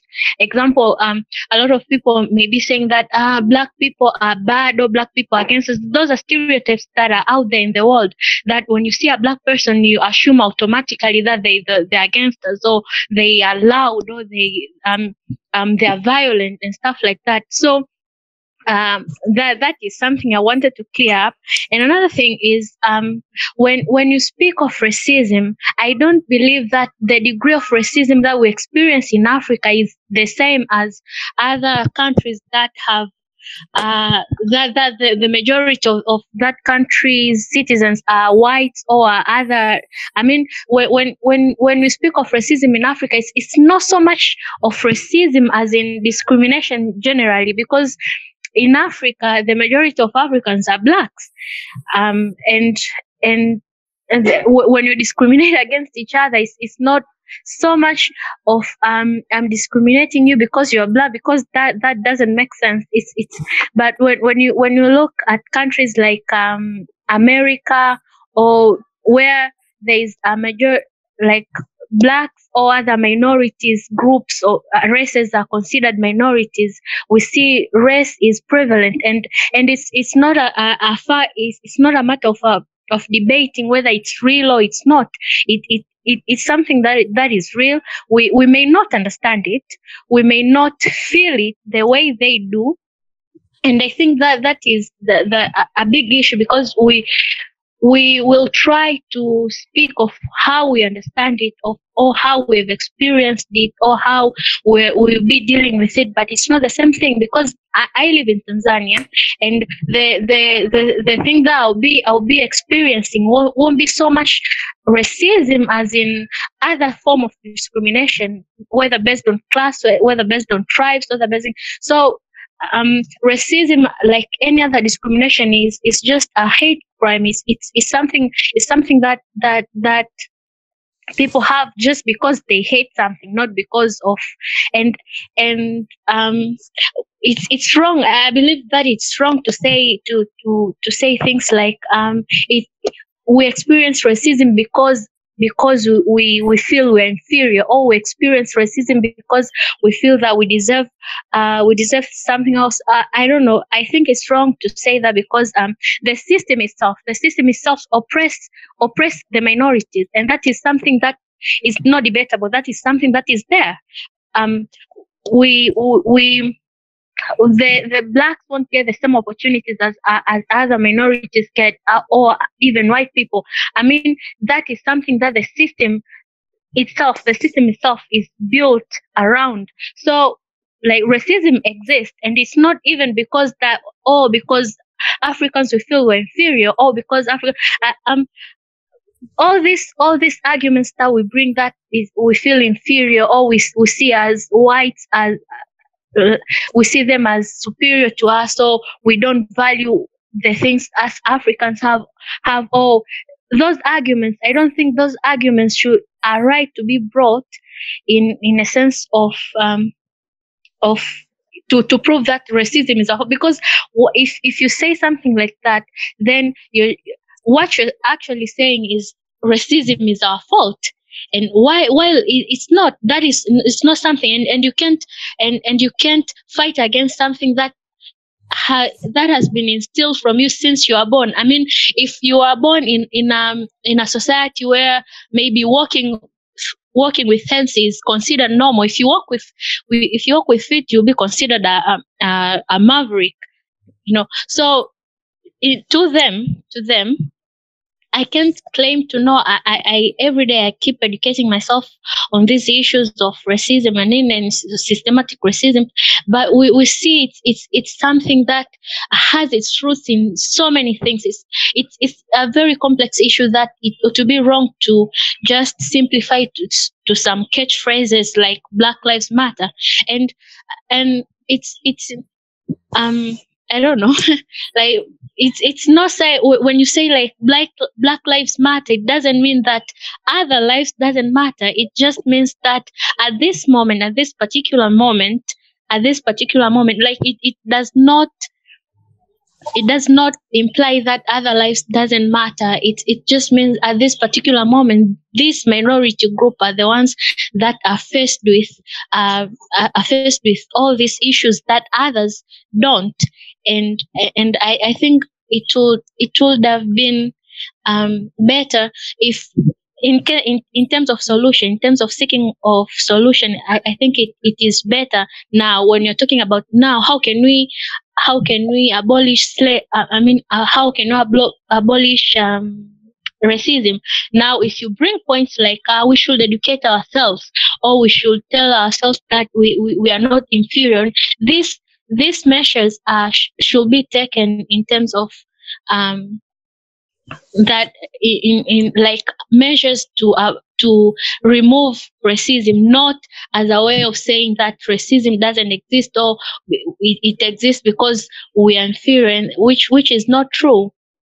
I mean, the the, the uh, Miss Catherine, I hope you are still a miss. Okay, I will hang up. I will come back to you. Thank you very much for your participation.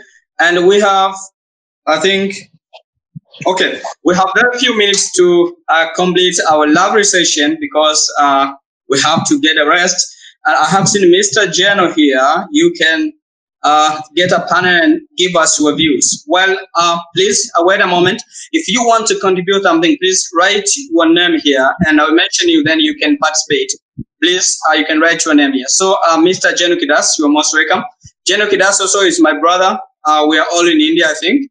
Thank you. Thank you so much, Mr. Manda and uh, panelists.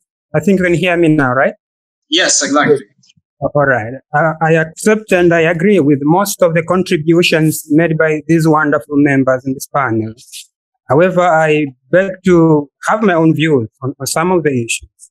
Uh, there was a question of uh, racism being compared with the police brutality. I think that my sister Catherine has just explained it very clearly. We should not be confusing the police brutality with racism because you cannot take, for instance, the action that a police has killed uh, an, an, unarmed citizen as racism. And, and that's why in my previous talk with you, Manda, I remember, I told you, what if Floyd wasn't a black man? Would have Americans rose to the anger that they have rose risen right now? Possibly not. So what happens is racism is there in most parts of the world, but it shouldn't be confused with other forms of discrimination, as my uh, sister Catherine has said.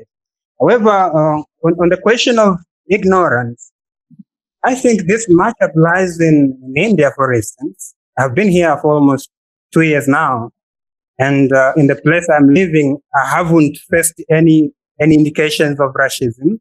However, as Prof, uh, as Dr. Siddiqui was saying, I think there is a sense of ignorance. Most of the Indians, I think, they don't study African history, so they just consider Africa as a single country. And mostly they know on South Africa, maybe because Mandela was there in his youth. But what we, I, I need to say is, uh, what do you do when you face a racial discrimination in any place where you are? I would have asked my sister Salome, what did she do when she faced those kind of discrimination in India? I don't know how do you react to that. But if you keep quiet and you have been racially segregated, then you're not fighting it. I do not support also the, these uh, catchphrases that are being used currently. For example, Black Lives Matter. I consider that as a way of combating a crime with a crime. You cannot solve a problem by imposing another problem. These phrases, these statements we make, the speeches we say shall be referred to by the coming generations. So when they'll be reading history and they'll be seeing like Black Lives Matter, not all will think that this was only a catchphrase to express the grievances of the black men across the world. But the white men also will be thinking, so now these black people want to revenge us, you know? There is a kind of reaction, action, reaction process in everything that is done. So I would okay, suggest. Please, uh, Brother Jen, can you hang up a little bit? Please, I'm giving at least one and a half minute. Just try to explain my views in a very short moment because uh, we are going to end. I will come back to you, Mr. Jen, if you want more something to contribute. Uh, we have Dr. Uh, Kushit Alam from London. Uh, please, can you give us your views?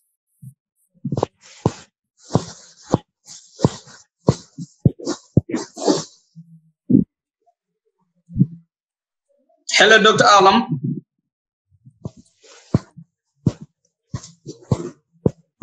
Okay, we'll be coming back to you uh, after some times. And now, uh, I think Modest Musa from Tanzania, he's also one of my classmates. He has something to contribute while Dr. Alam, you prepare yourself for connection. Uh, Moses Musa, you're most welcome to our discussion. Just use one minute and a half, uh, one, one and a half minutes.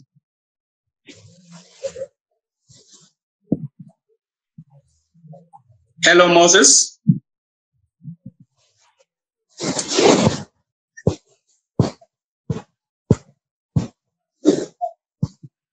I think he's getting trouble in joining us. Uh, Dr. Alam, are you there still?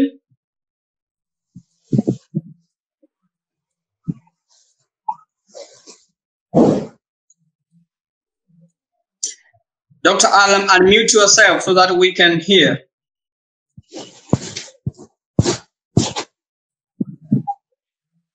Oh. And Moses Musa also can be trying.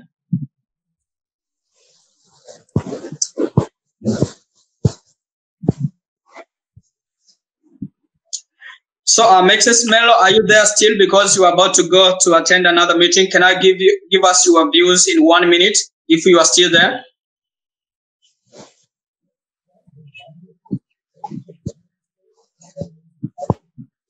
Melo, Mr. Melo, are you there?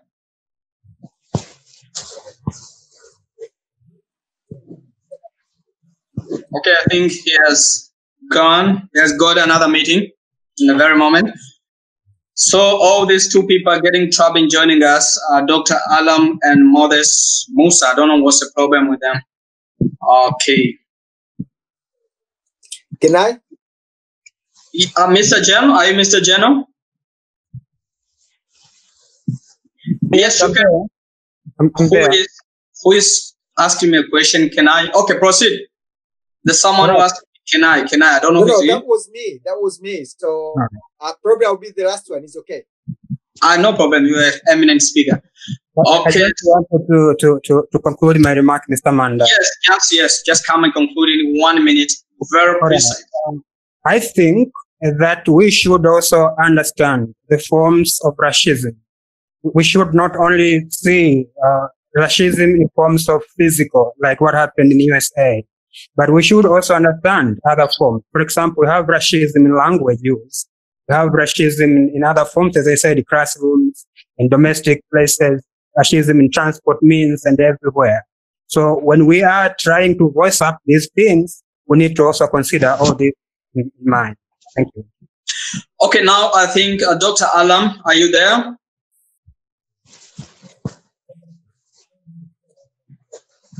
He should, he should unmute his mic. He is not. I think that he is not able to unmute his mic. Okay, now it's a big issue. so seriously, it's a big issue. And Moses Musa, are you still there with us?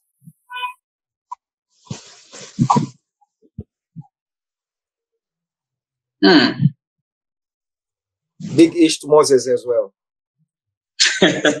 Please, guys, uh, unmute yourself so that we can hear you. Yes, Hello. Yes, yes. Hello. Hello. Yes, we can hear you. Uh, can you hear me now? Yes, Yes. exactly. Yes. Uh, good afternoon, everyone. Um, just to, to, to wind up, this is a challenge. I can say this is a, a challenge. Uh, simply, we have been discussing this issue of uh, racism to Africans, Africans, but I think eh, there is a root problem of this, uh, uh, a, a, a causative of this uh, problem we're having. I think we've been claiming about um, being discriminated or being uh, racially abused, but let me give you one one scenario which I had last year. You know, professionally, I'm having a bachelor degree of uh, tourism. So last year I was having this group of tourists. Unfortunately, they were white. They're from Germany. Then we were passing by a certain village in my country, Tanzania. So the kids and the other people who were originally black, as I am, or as we are, they started gazing and pointing fingers to those people saying, Mzungu, Mzungu, look at those Wazungu, Wazungu. For those not coming from Tanzania, when you speak of Wazungu, it's those people uh, having different color from ours, the black color. So one of those tourists got cu- curious. You know, his face turned red and he asked me, why do they call us Wazungu? You see? Assume if you come to a country and we start pointing fingers at you and start saying like, black, black, black, or any other technology which um, indicates a sign of you having a different color from us, how would you feel? Now you see, then I was gutted. I was left dumbfounded. So for me, uh, generally speaking, I think sometimes we may see it as a problem because something has been done to us, but we as Africans sometimes, or in other ways or another, we contribute somehow to this racial abuse. Because for them, they perceive the them the Zungu as a racial abuse. So this is a challenge to us. Thank you, my brother. Thank you, Reverend. Good afternoon. Thank you. Thank you very much, Mr. Moses Musa from Tanzania. I think now Dr. Alam is is okay. He can join us.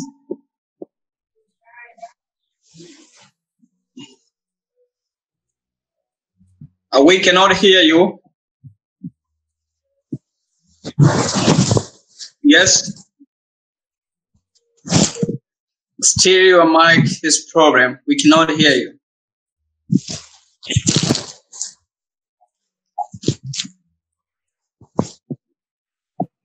We are missing you.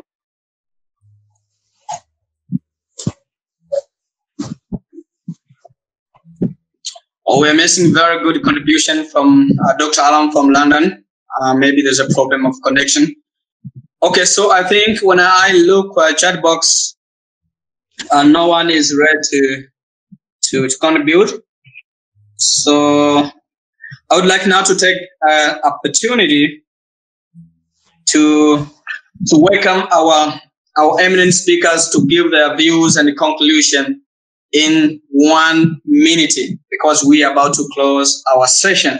So, uh, starting with uh, Janita, you have already given us your conclusion and your conclusion. And if you want to give us again, you can text me here. I'll give the opportunity. Uh, Dr. Chris Rilo, are you there? We missed you today.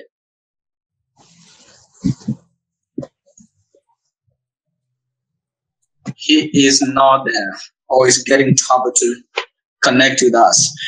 Okay, Advocate Alphonse Teofina Chipiango, I think you were there. Uh, what is your conclusion on the impact of racism on a black ethnicity?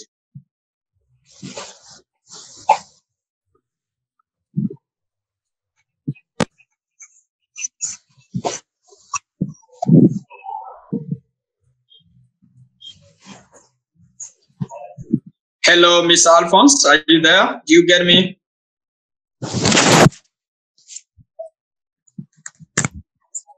I cannot hear you. Anybody else hears him, please? Maybe it's my problem here. No, no, no. Dr. Shah- Okay, we are not okay. We're, we'll be coming back to you. Just uh, just set up your your your your your mic properly. Now we're coming to. I think Dr. Street is not with us. Um, Mr. Giovanni Battista from United Kingdom. Uh, in one minute conclusion. One minute is not enough. Uh, probably two minutes. I don't. Because it's not enough because I, uh, this young lady Catherine has brought up something so so serious, and Yes. I think we should we should address this. Catherine came to help the panel that we are making a mistake. We didn't uh, uh, take two words together. There's a difference between racism and discrimination. Race, race is, is, is, is creating racism. Race. I, black. Rashid, India, Race. Discrimination is a problem now. So we should not be talking about racism now. Discrimination. What happened to uh, to, to Floyd and the other guy in, in, in US? That was number one, police brutality, but number two is discrimination. So, uh, how do we get rid of this? We, we said already, this is something inborn. Uh, like race is, something somebody's born with and is a cancer in your heart. And it's only been seen when it's going to go out. But before that, it will be okay. Now, how do we accommodate this? Uh, what, what I'm thinking is that we should we should accept our cultural differences because this is also uh, uh, something that's so major, so serious. Our cultural clashes causing a lot of problems. We don't understand the Indian culture, and the and and, and, and, the, and the Indian culture don't understand our culture. But also in Tanzania, I am from a certain part of Tanzania. Man is from a certain part of Tanzania. They have different cultures. So if we don't accommodate this, we'll crash. We'll crash. And uh, uh, uh, something I will say again is something be my final remark on this is that we should very much be fighting for the equality, economy to be stable to most of the people, and then we should be we should have the political the word political willingness to combat it and address the problem of first race problem, number two discrimination in those countries, but number three we should be learning how to accommodate one another. The cultural differences is causing so much trouble. Also, not only for Americans, not only for white, but also for Tanzanians. Thank you very much. Thanks very much, Mr. Jomin. I think now Dr. Alam can join us. Can you join us, please, Dr. Alam?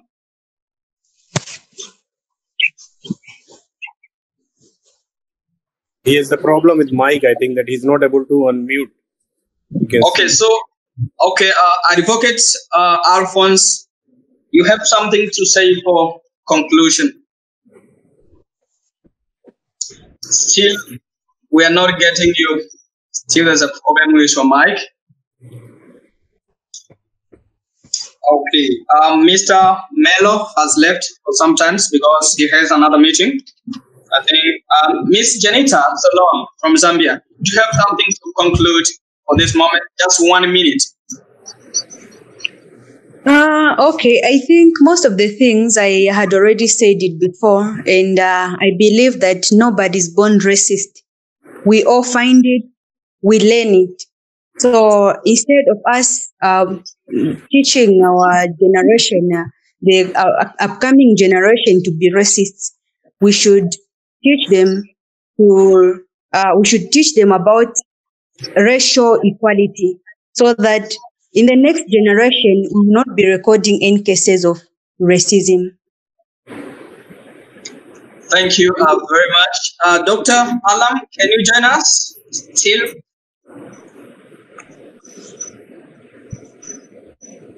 He is still facing a problem. Okay, um, Dr. Shahidi, uh, last read. Can you please uh, give us your views and the conclusion on this yes, topic? Yeah. So uh, it's like uh, whatever we have discussed, what we are witnessing, it's like honest to us, this new generation, the youth, youth across the world have to understand this uh, uh, this kind of madness is going all around, irrespective of their country, religion, caste, and ethnicity. We all the youths have to come on platform, and we have the responsibility to take to the very you know, in a positive way to the next generation. Otherwise, our next generation generation will not forgive us. So it is uh, the whether you fight with the digital technology, whether you fight on the ground, whether you fight in the form of activism, but we have to contribute to fight against this kind of madness that which has been created in, since, since decades and centuries. So, so we have to be ready, and we are together. So uh, I am very much hopeful that this is going to happen uh, this was the limit, you know, that we have seen that it has crossed the limit that we are witnessing. But we should be formed together to fight it back, to, to counter, and to take the uh, world in a positive, a positive way. Thank you. Mr. Thank you. there's also Professor Professor Nzovi. I don't know Nzovi. I think Yes, sir, Professor. Yeah, I, I yeah, saw Maria. She could tell us something. She, she could tell something, Nzovi, Maria. most of professors are so quiet. I don't know why. Mr. Professor. Maria. Is Maria? Yes, Professor Maria Nzomo. Are you there? This, I think, is a missus.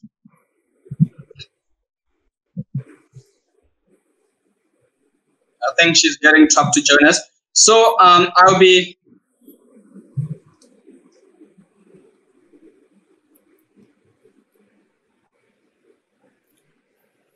Join. Yes. Okay. Now I think it's okay. So I'll be concluding because our time is no longer with us. Uh, there's one mic making noise. Please uh, unmute yourself for some times. Okay. So I would take this opportunity to thank all of you uh, participants. I'm very happy and I'm so glad to be with you today uh, from afternoon up to this evening here in India. And it is a wonderful moment to have such a great session that I'm hearing this uh, evening. It wasn't easy when I wanted to start this uh, session when I was just an, idea. I came with some people to fetch some views, and my brother uh, Jovin from United Kingdom has helped me a lot to get some connection, to get some people, and also uh, Dr. Shahid. Even the platform that we're using is uh, due to his um, uh, contribution. Um, easily, I can say uh, Dr. Shahid is eager working to fight for the rights of Africans here in India. And as I'm one of the leaders of the Association of uh, African Students in India, uh, I met with uh, Dr. Shahid several times in addressing our rights and standing for us. Um, despite having uh, men of Indians uh, looking at us in a different way that Dr. Shahid is looking. So uh, he has helped us and he is still helping us a lot through his organization, Association of Social Media Profession So um, I would like to take this opportunity to thank him uh, for helping this thing to be done. And all of you uh, participants, especially my classmates, is so happy to see you because when I'm trying to address this issue to the people, they're saying these things are for elders, it's not for youth. They think you cannot discuss these social matters who are youth, and you cannot talk these things because when you talk will be against government, you'll be suffered. People loving you. They're using these words that we cannot discuss because of fear of the government. But I see uh, how uh, my friends, my classmates can contribute and say uh, whatever they think about these issues. So, what is my request? Is that this is not an end. This is just starting. We're just planning uh, so many sessions, uh, days to come. So, please, I wish to participate, and I thank you for giving me uh, more than two hours and to contribute and a lot of things that we have contributed here. So, I think Dr. Shahid, you have recorded all our session, and the participants Yes. who want to the records, I think you will get it. Yeah, something? I have shared, yeah, I have shared one link also. Two, three questions are there. So Yes. if you can contribute, so we can develop and publish one report and share Yes. with you. That it will be like more. Uh, we can reach to many, many people with our ideas, with the solution, with the different mindset and perspective.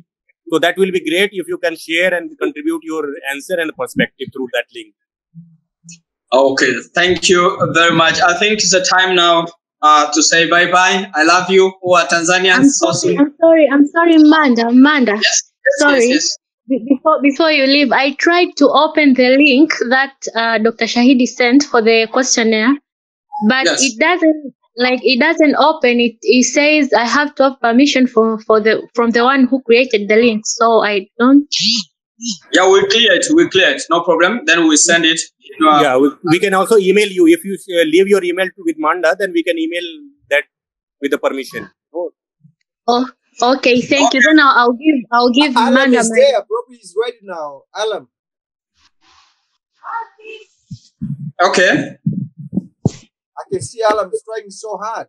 Is he ready or? Uh, hey, Dr. Alam, he's missing a lot. oh, so sorry. He's still you can't hear now. He can't, he can't be heard now. Okay, my brothers and sisters, I think I would like to say to you bye bye and I miss you all. Thank you for your presence. Thank you so much.